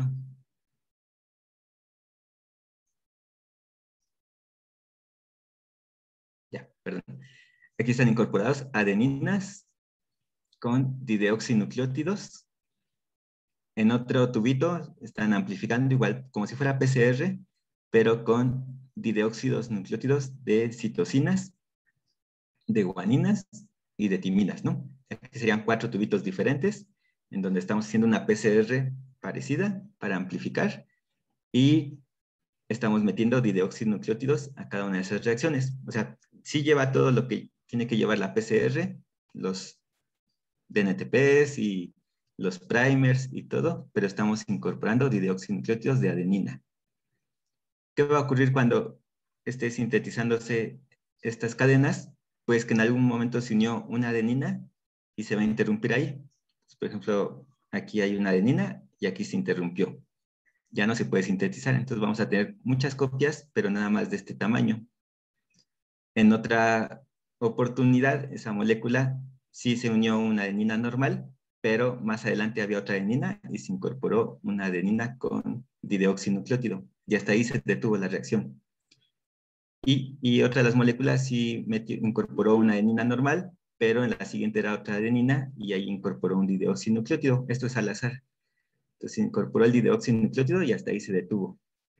Y luego esa reacción continuó y hasta acá se incorporó otra adenina y ah, más adelante otra y por eso tenemos diferentes tamaños en donde se incorporó una adenina con dideoxinucleótido y hasta ahí se paró esa reacción y tenemos ese fragmento de ese tamaño. ¿Se entendió? Creo que sí, doctor. Sí, y por ejemplo en, otro tubito hicimos una PCR igual, pero ahora le pusimos dideoxinucleótidos para citosina. Y entonces la reacción se terminó en donde acababan diferentes citosinas. Y por eso sabemos que ahí el último nucleótido es un dideoxinucleótido de citosina. Aquí igual para guaninas y para timinas. Y entonces podemos ver aquí la secuencia en realidad de, este fragmento. ¿cuál sería la secuencia de este fragmento? Bueno, si lo leemos de 5' a 3', que son, digamos, el fragmento más pequeñito en una electroforesis fue el que más corrió, y el fragmento más grande fue el que se quedó hasta arriba, ¿no? Pues aquí veríamos que de esta misma molécula que estamos analizando y que le metimos dideoxinucleótidos para adenina o para citosina o para guanina o para timina, se detuvo en diferentes sitios la reacción. Entonces podemos ver que la primera letra era una timina, la siguiente una guanina, o sea, estamos viendo por tamaños. En la electroforesis podemos separar hasta una sola tamaño de un solo nucleótido, entonces por eso podemos saber que aquí es timina, guanina, timina, adenina, citosina, adenina, adenina, citosina, timina. ¿Se entendió? O sea, estos, doctor, estos también se meten al termociclador, pero secuencias estas de didesoxinucleótidos son como una especie de codones de término que van parando en cierto punto donde quieren la. Ajá, se va a interrumpir ahí la, la secuencia. Y luego sigue, ¿no? Bueno, o sea, continúa hasta que haya otra vez. Sí, o sea, eh, esto es al, final de, de, varios ciclos. Entonces, al final de varios ciclos, pues tenemos todas estas eh, cadenas interrumpidas y por eso cuando lo metemos en la electroforesis se van a separar cada uno de los tamaños en donde terminaba con esa letra. Gracias. ¿Sí? ¿Alguien que tenga alguna duda o alguna pregunta? Entonces, el fragmento más pequeño fue donde nada más, o sea, de nuestra cadena molde que queríamos amplificar, pues solamente en una oportunidad se metió la timina, dideoxinucleótido y hasta ahí se acabó. por eso sabemos que ese es el primer nucleótido. Pero más adelante, pues, tenemos la guanina y así sucesivamente.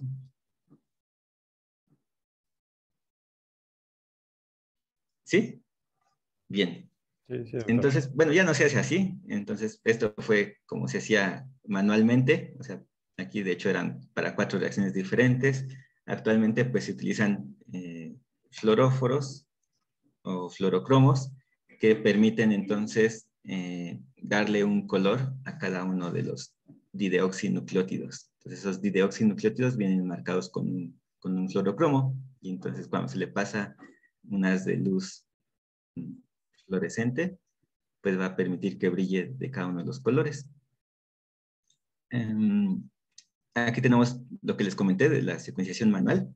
Aquí, por ejemplo, en esta secuencia es timina, timina, luego el siguiente tamaño guanina, el siguiente tamaño de adenina, timina, citosina, adenina, guanina, guanina, timina.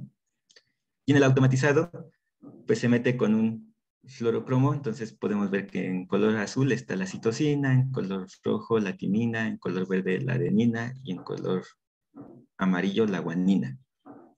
Entonces, esto se puede meter combinado todo junto en una sola reacción de PCR y entonces donde se detenga, pues vamos a ver el color.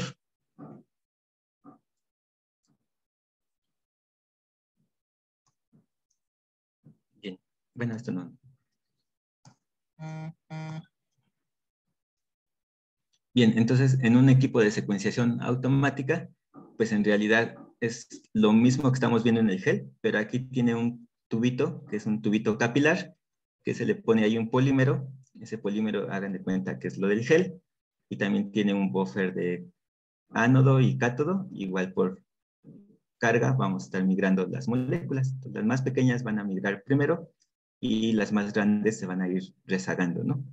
Entonces el equipo tiene un láser que va a permitir que se excite el fluorocromo del dideóxido nucleótido, el último que se quedó incorporado, que es el que tiene ahí el marcaje, y entonces va a permitir que, que, haya una fluorescencia y tiene una unidad de detección que va a permitir entonces saber cuál es el fluorocromo que, que, que, brilló, ¿no? Digamos que tiene una cámara que detecta el color. ¿Se entendió? Entonces, conforme va pasando el tiempo y van migrando estas moléculas de DNA por la carga positiva que se le está aplicando, pues van pasando por aquí los nucleótidos de cada tamaño y podemos saber cuál fue el último que se incorporó y por eso podemos tener una secuencia. Entonces, ya es secuenciación automática tipo Sanger y lo que nos da son estos electroferogramas. O sea, nos da el último nucleótido, dideoxinucleótido que se incorporó, que venía marcado con fluorescencia, y por eso puede detectar el color y automáticamente sabe que es una timina, automáticamente sabe que es una adenina, una timina, timina, timina, adenina, timina, y así sucesivamente. ¿Dudas?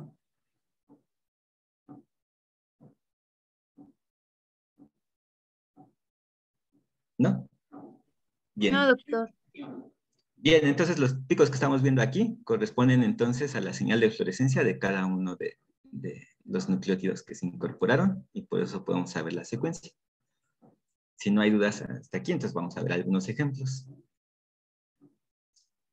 Aquí, ah, déjenme ver la hora. Bien, bueno, tenemos 15 minutos.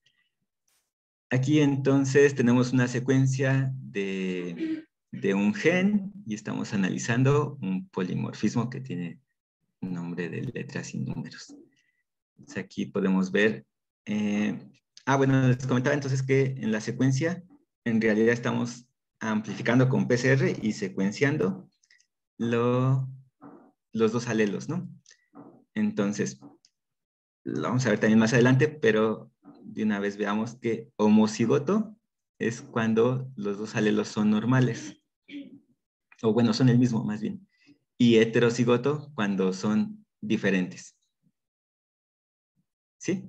Ya tenemos claro entonces que es un alelo.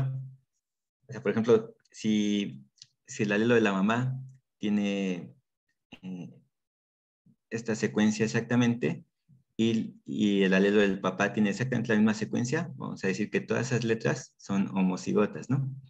esa persona es homocigota para cada uno de los nucleótidos de esa secuencia.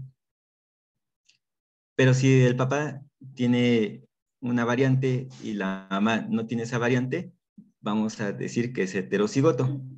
Entonces, en este caso, esta persona, bueno, a lo mejor este no era el mejor ejemplo. Aquí tenemos una adenina y una guanina en la misma persona, ¿no? Vemos un pico verde y un pico negro en la misma persona, en esta posición. Esta persona, para esta misma posición, tiene solamente un pico verde y decimos entonces que es homocigoto para la letra A.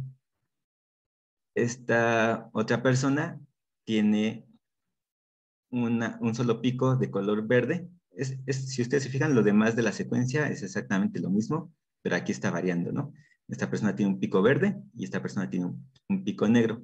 Esta persona es homocigota para adenina y esta persona es homocigota para guanina.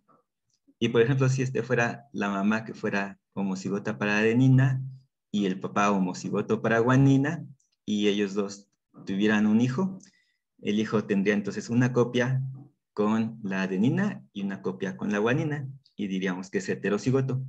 Y lo estamos viendo aquí en el electroferograma de esta secuencia y vemos que tiene un pico verde y un pico negro. ¿Se entendió?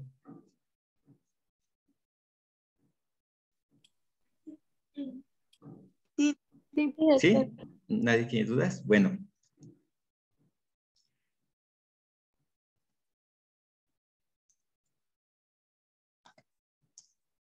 Bien.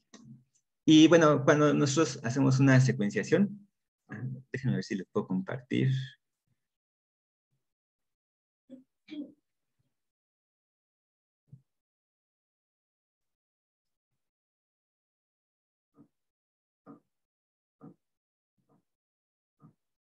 A ver, no sé cómo lo vean.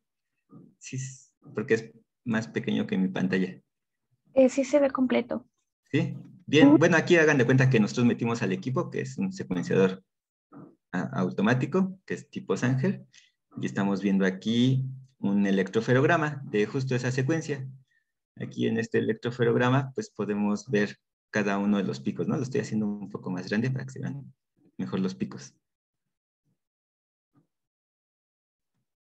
Y le voy a quitar esos números. Bueno, esos números sí corresponden a cada una de las posiciones, 120, 121, 122, 23, 24 aunque no necesariamente al DNA original, sino desde cuando empieza aquí a detectar, ¿no? Desde el cero hasta donde acaba esa secuencia. Pues déjenme quitar esos números. Bien, bueno, hagan de cuenta que eso es lo que nos entrega el equipo. Digamos que serían los datos crudos Y aquí un software puede interpretar los picos y decirnos las letras.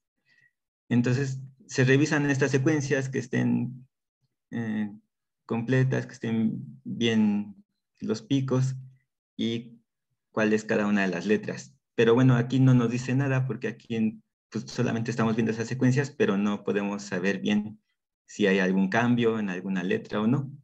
¿Qué es lo que se hace? Pues se comparan las secuencias obtenidas con secuencias ya de referencia.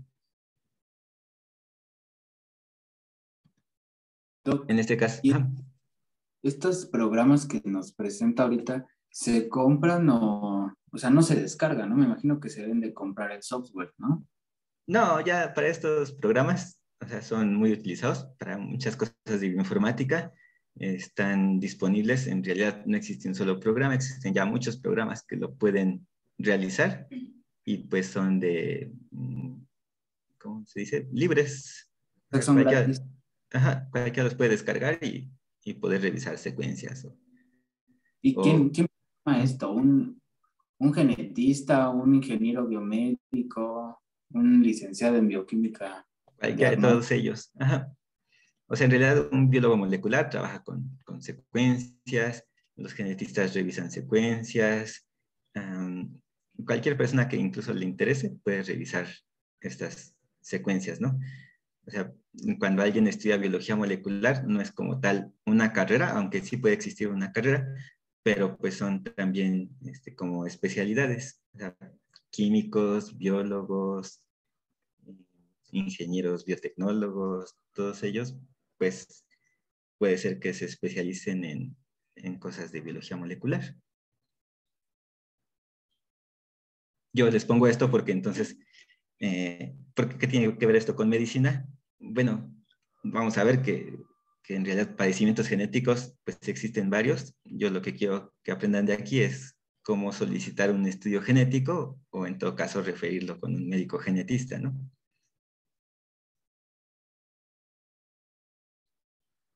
Sí, pero, pero, me parece interesante que conozcan fundamentos de las técnicas. Digo, no para que se las sepan, a lo mejor en el examen yo, yo no les voy a preguntar esto, sé que está planeado regresar otra vez a los departamentales y a lo mejor ahí en los departamentales pues sí se preguntan cosas muy específicas, pero a mí no me interesa que se sepan todo, sino que tengamos la comprensión de qué es lo que estamos hablando, ¿no? Ya que veamos los casos clínicos y digan, bueno, se hizo el estudio de secuenciación y se encontró esta mutación. Pues entendamos qué fue eso de secuenciación. O se hizo un estudio de PCR y encontramos esto ya quedamos los casos clínicos. Bien, bueno, entonces, así como en el electroferograma, pues son muchas letras, ¿no? Entonces, lo que se hace es agarrar de ahí toda esa secuencia, o sea, el mismo software permite seleccionar toda esa secuencia y copiarla en las letras. Ya de ahí se puede meter en una base de datos y alinearla con otra secuencia. Y aquí, por ejemplo, estamos alineando 3.757 nucleótidos contra 3.757 nucleótidos de referencia. Y por ahí encontró que, que una no, un nucleótido no está igual, ¿no?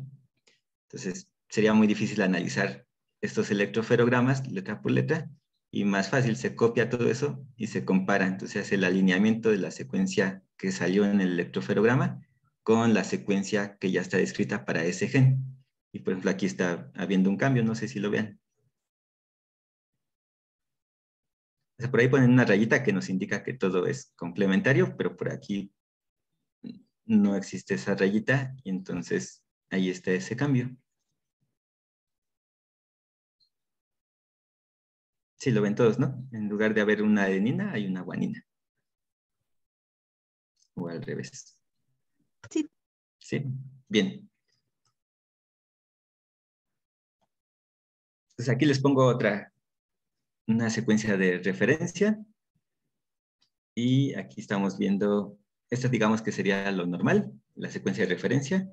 Y estamos viendo de un paciente la secuencia sentido, o sea, con un oligo, que sería, digamos, el de 5' a 3', y con la secuencia antisentido, que sería el, el oligo que es reverso, ¿no? Esto sería complementario a esta secuencia. ¿quién me puede decir que estamos viendo? O si comparamos el paciente con la secuencia de referencia, ¿qué cambio estamos viendo? Es un cambio en la citocina, que sería heterocigoto. No tanto, sí, sí está cambiando nuestra citocina, pero hay algo más. O sea, fíjense en la secuencia que está hacia la izquierda y la secuencia que está hacia la derecha. Esto sería lo normal y esto sería el paciente. Se pierde, ¿no? Se está perdiendo algo, ¿no? Es una lesión. ¿Qué es lo que se está perdiendo? Pues la citocina. Sí, creo que sí. Se está perdiendo la citocina, pero también se está perdiendo algo más, porque de hecho aquí tenemos esta otra timina. Aquí tenemos una inicial, una citocina, una adenina y una timina. Y luego tenemos otra timina hasta acá. Si se perdiera nada más la citocina, ¿cuántas timinas quedarían? Quedarían una, dos, tres y cuatro, ¿no? Pero nada más están quedando dos timinas. O sea, después de la citocina, la adenina, nada más tenemos dos timinas y luego ya las dos guaninas que seguían. Pero entonces ahí ya no sigue lo de las Ds de Chargafos, ¿eh? A, ver, ¿por qué? O sea, se supone que Chargaff dice que el número, bueno, en el humano, el número de las bases es siempre uno cuando se dividen las purinas con las pirimidinas, ¿no? O sea, el resultado siempre debe ser igual a uno y si es diferente a uno, es decir, que haya más de una que de otra, no es el humano. Mm, no, bueno, eso en general, ¿no? Es todo el porcentaje de todo el genoma, digamos que, que es más o menos mitad y mitad. No, aquí es un solo gen y estamos teniendo una deleción. De hecho, es una deleción frecuente. A ver, déjenme ponerla. El gen se llama CFTR, es el gen de fibrosis quística, y estamos teniendo una mutación que se llama delta F508. O sea, esto es pregunta de examen departamental. Para fibrosis quística, esta es la mutación más frecuente. De hecho, fibrosis quística se tamiza y, por ejemplo, en Estados Unidos se tamiza incluso esta mutación que, es la más frecuente. En México sí es de las más frecuentes, pero, pero existen otras también. Pero entonces se llama CFTR y lo que tenemos es una deleción en el codón 508 de una fenilalanina. Y lo que se está perdiendo en realidad es esto, una citosina, una timina y otra timina. Y coincide que es justo un, codón. Habíamos visto, ahorita que vimos las mutaciones, que si es un solo codón, lo único que, lo que se está perdiendo, lo único que se pierde es un aminoácido, en este caso es una fenilalanina en el 508. No se corre el marco de lectura, ¿por qué? Porque es un codón, es el número de tres lo que se está perdiendo. Y coincide que aquí iniciaba este codón y aquí terminaba. Y aquí este paciente tiene esa delesión. La timina de aquí se está uniendo con la otra timina y por eso lo estamos viendo así. ¿Y todo esto se puede ver con un screening de, de, tamizaje? O sea, desde los primeros meses de vida se puede identificar estos problemas. Sí, o incluso desde antes, comentaba su compañero de que, de que si desde el líquido amniótico, o bueno, desde el embarazo se puede saber cosas, se pueden hacer este tipo de estudios, pues también, desde el líquido amniótico podemos saber si este bebé venía afectado con, con fibrosis quística. Y en caso de que sean mutaciones muy graves que sean ya, o sea, se, se diagnostiquen intrauterinamente se puede hacer el aborto terapéutico, se le puede recomendar, o sea, su bebé va a morir tarde o temprano, mejor abórtelo de una vez, ¿se le puede decir eso? No se puede recomendar, pero sí se puede dar la opción. Gracias. No, de qué. Y de hecho eso, pues sí, sí ocurre, ¿no? O sea, si los papás ya sabemos que son portadores de algo, ya tuvieron un hijo afectado, falleció, y quieren saber si su siguiente embarazo viene también afectado. ¿Por qué? Porque ellos son portadores.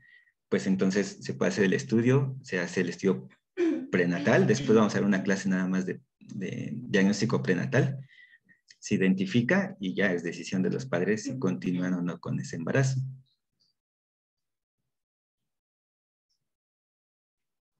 Muy bien. Y hay, casos en donde se puede o se tiene que hacer algún aborto sí o sí, o sea, ¿Obligado no?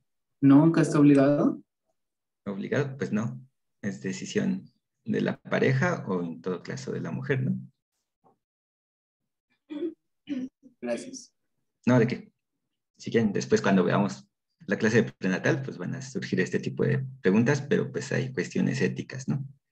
Bien, entonces, si todos ven la de lesión, o sea, está perdiendo esta citocina, esta timina y esta timina. O alguien que no la vea.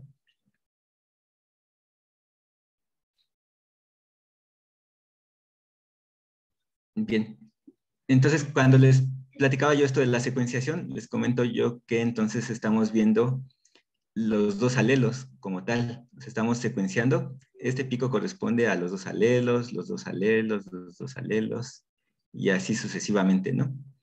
Lo que estamos viendo aquí es una deleción heterocigota o una deleción homocigota. ¿Este paciente estaría afectado o no estaría afectado? Fibrosis quística es, es autosómica recesiva. Entonces se requiere que los dos alelos estén afectados para que ocurra la enfermedad. En este caso, ¿estaría afectado o no estaría afectado?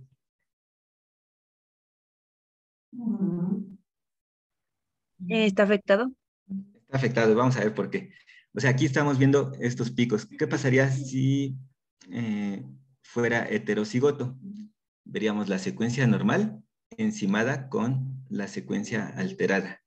O sea, en una misma secuenciación estaríamos viendo picos encimados. Lo vamos a ver más adelante en otro ejemplo.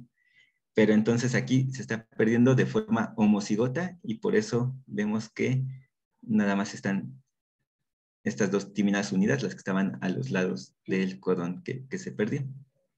Y en la secuencia antisentido estamos viendo la misma secuencia, pero con las letras contrarias.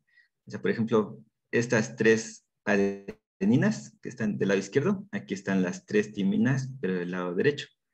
Se mete de control siempre secuencia sentido y secuencia antisentido cuando hacemos diagnóstico genético para poder identificar de ambas formas. Bien. Aquí hay otro ejemplo de, otra alteración. Aquí es, digamos que es el paciente, el de hasta arriba, luego digamos que es la mamá y luego es la secuencia del papá. El gen se llama NF1, que es el que codifica para una proteína que se llama neurofibromina, y ocasiona neurofibromatosis tipo 1 cuando está afectado este gen. Entonces, es un paciente afectado con neurofibromatosis. Después vamos a ver ese tipo de diagnósticos.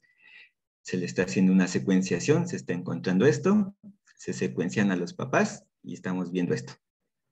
¿Quién me puede decir qué vemos?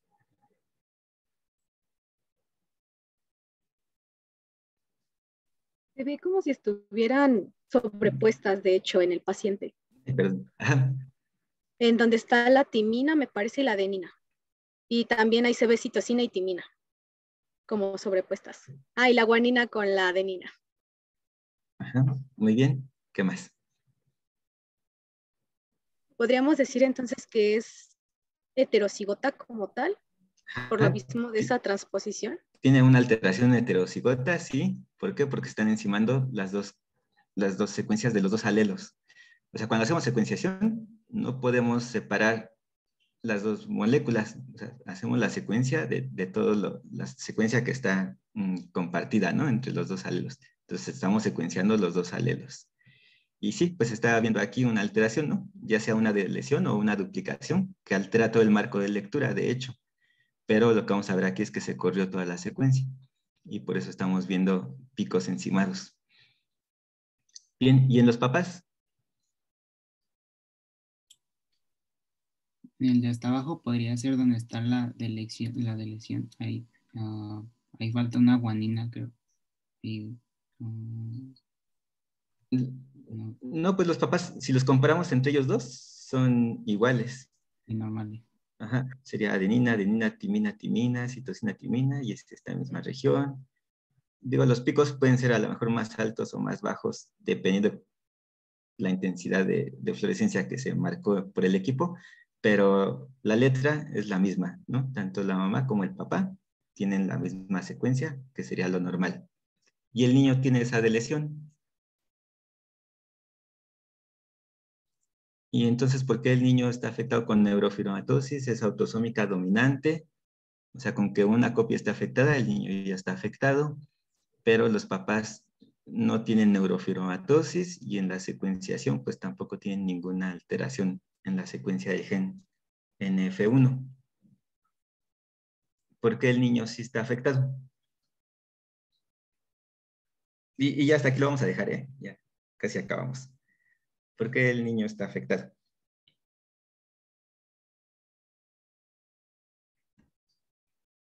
Ay, puede ser.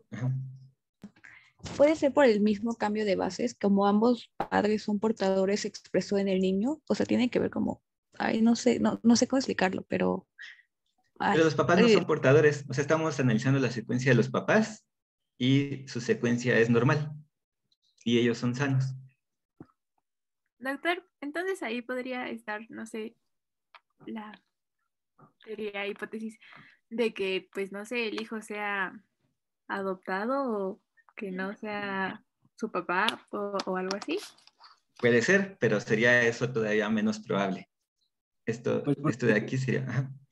Porque todo individuo es susceptible a, a, a, mutaciones, ¿no? O sea, tenga o no independientemente la carga genética, está, las enfermedades pueden tener una carga genética y una carga ambiental.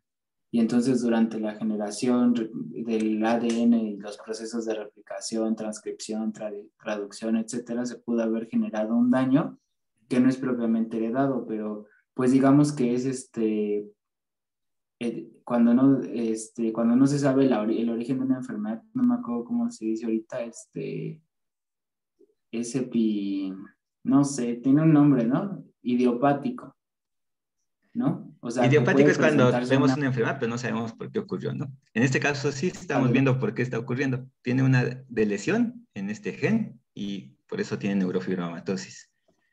Bueno, muy bien, gracias. De todas formas, decimos entonces que esta mutación la vamos a llamar de novo. Los papás no la tenían y él la tiene en todas sus células. ¿En dónde está ocurriendo esta mutación? Bueno, está ocurriendo en el óvulo o en el espermatozoide que dio origen a este niño.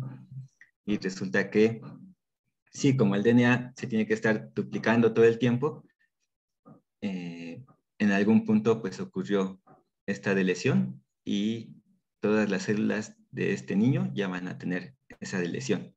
¿Él la puede transmitir? Sí, porque él ya es portador de esta lesión y si es autosómico dominante y uno de sus hijos la hereda, también va a tener neurofibromatosis y eso es lo que define autosómico dominante, a que también se pueda transmitir a la descendencia con probabilidad del 50%. O sea, va a tener un alelo con la, con la lesión y un alelo normal.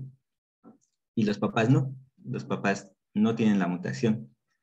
Bueno, ya después vamos a ver más adelante que las mutaciones de novo, varias de ellas se asocian con edad paterna avanzada. Pues puede haber varios espermatozoides que tengan ahí mutaciones. Y hasta aquí lo vamos a dejar.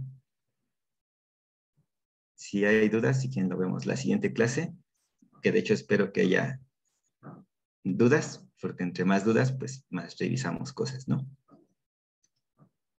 Bien, ¿alguna duda, algún comentario? ¿No? Entonces nos vemos el miércoles. Pues vamos a seguir viendo esto de las técnicas y vean su temario y, y lo que sigue. Les voy a pedir también que alguien de cada equipo me contacte para darle los temas que, les toca a ese equipo. Se le contacta, perdón, ¿se le contacta por eh, WhatsApp? Sí, sí, ahí sí, sí, su compañera jefa de grupo les puede compartir el, mi número, ya para que lo tengan todos también para que cualquier duda o algo, si me quieren escribir de forma personal, pues lo, lo, revisamos, o sea, alguna cuestión del grupo. Y, y también me escriben ahorita para los equipos. Bien, doctor, gracias. Muy bien. bueno, que tengan buen día. Hasta luego. Gracias, doctor. Buen día. Gracias, doctor. Gracias, doctor. Bye, bye.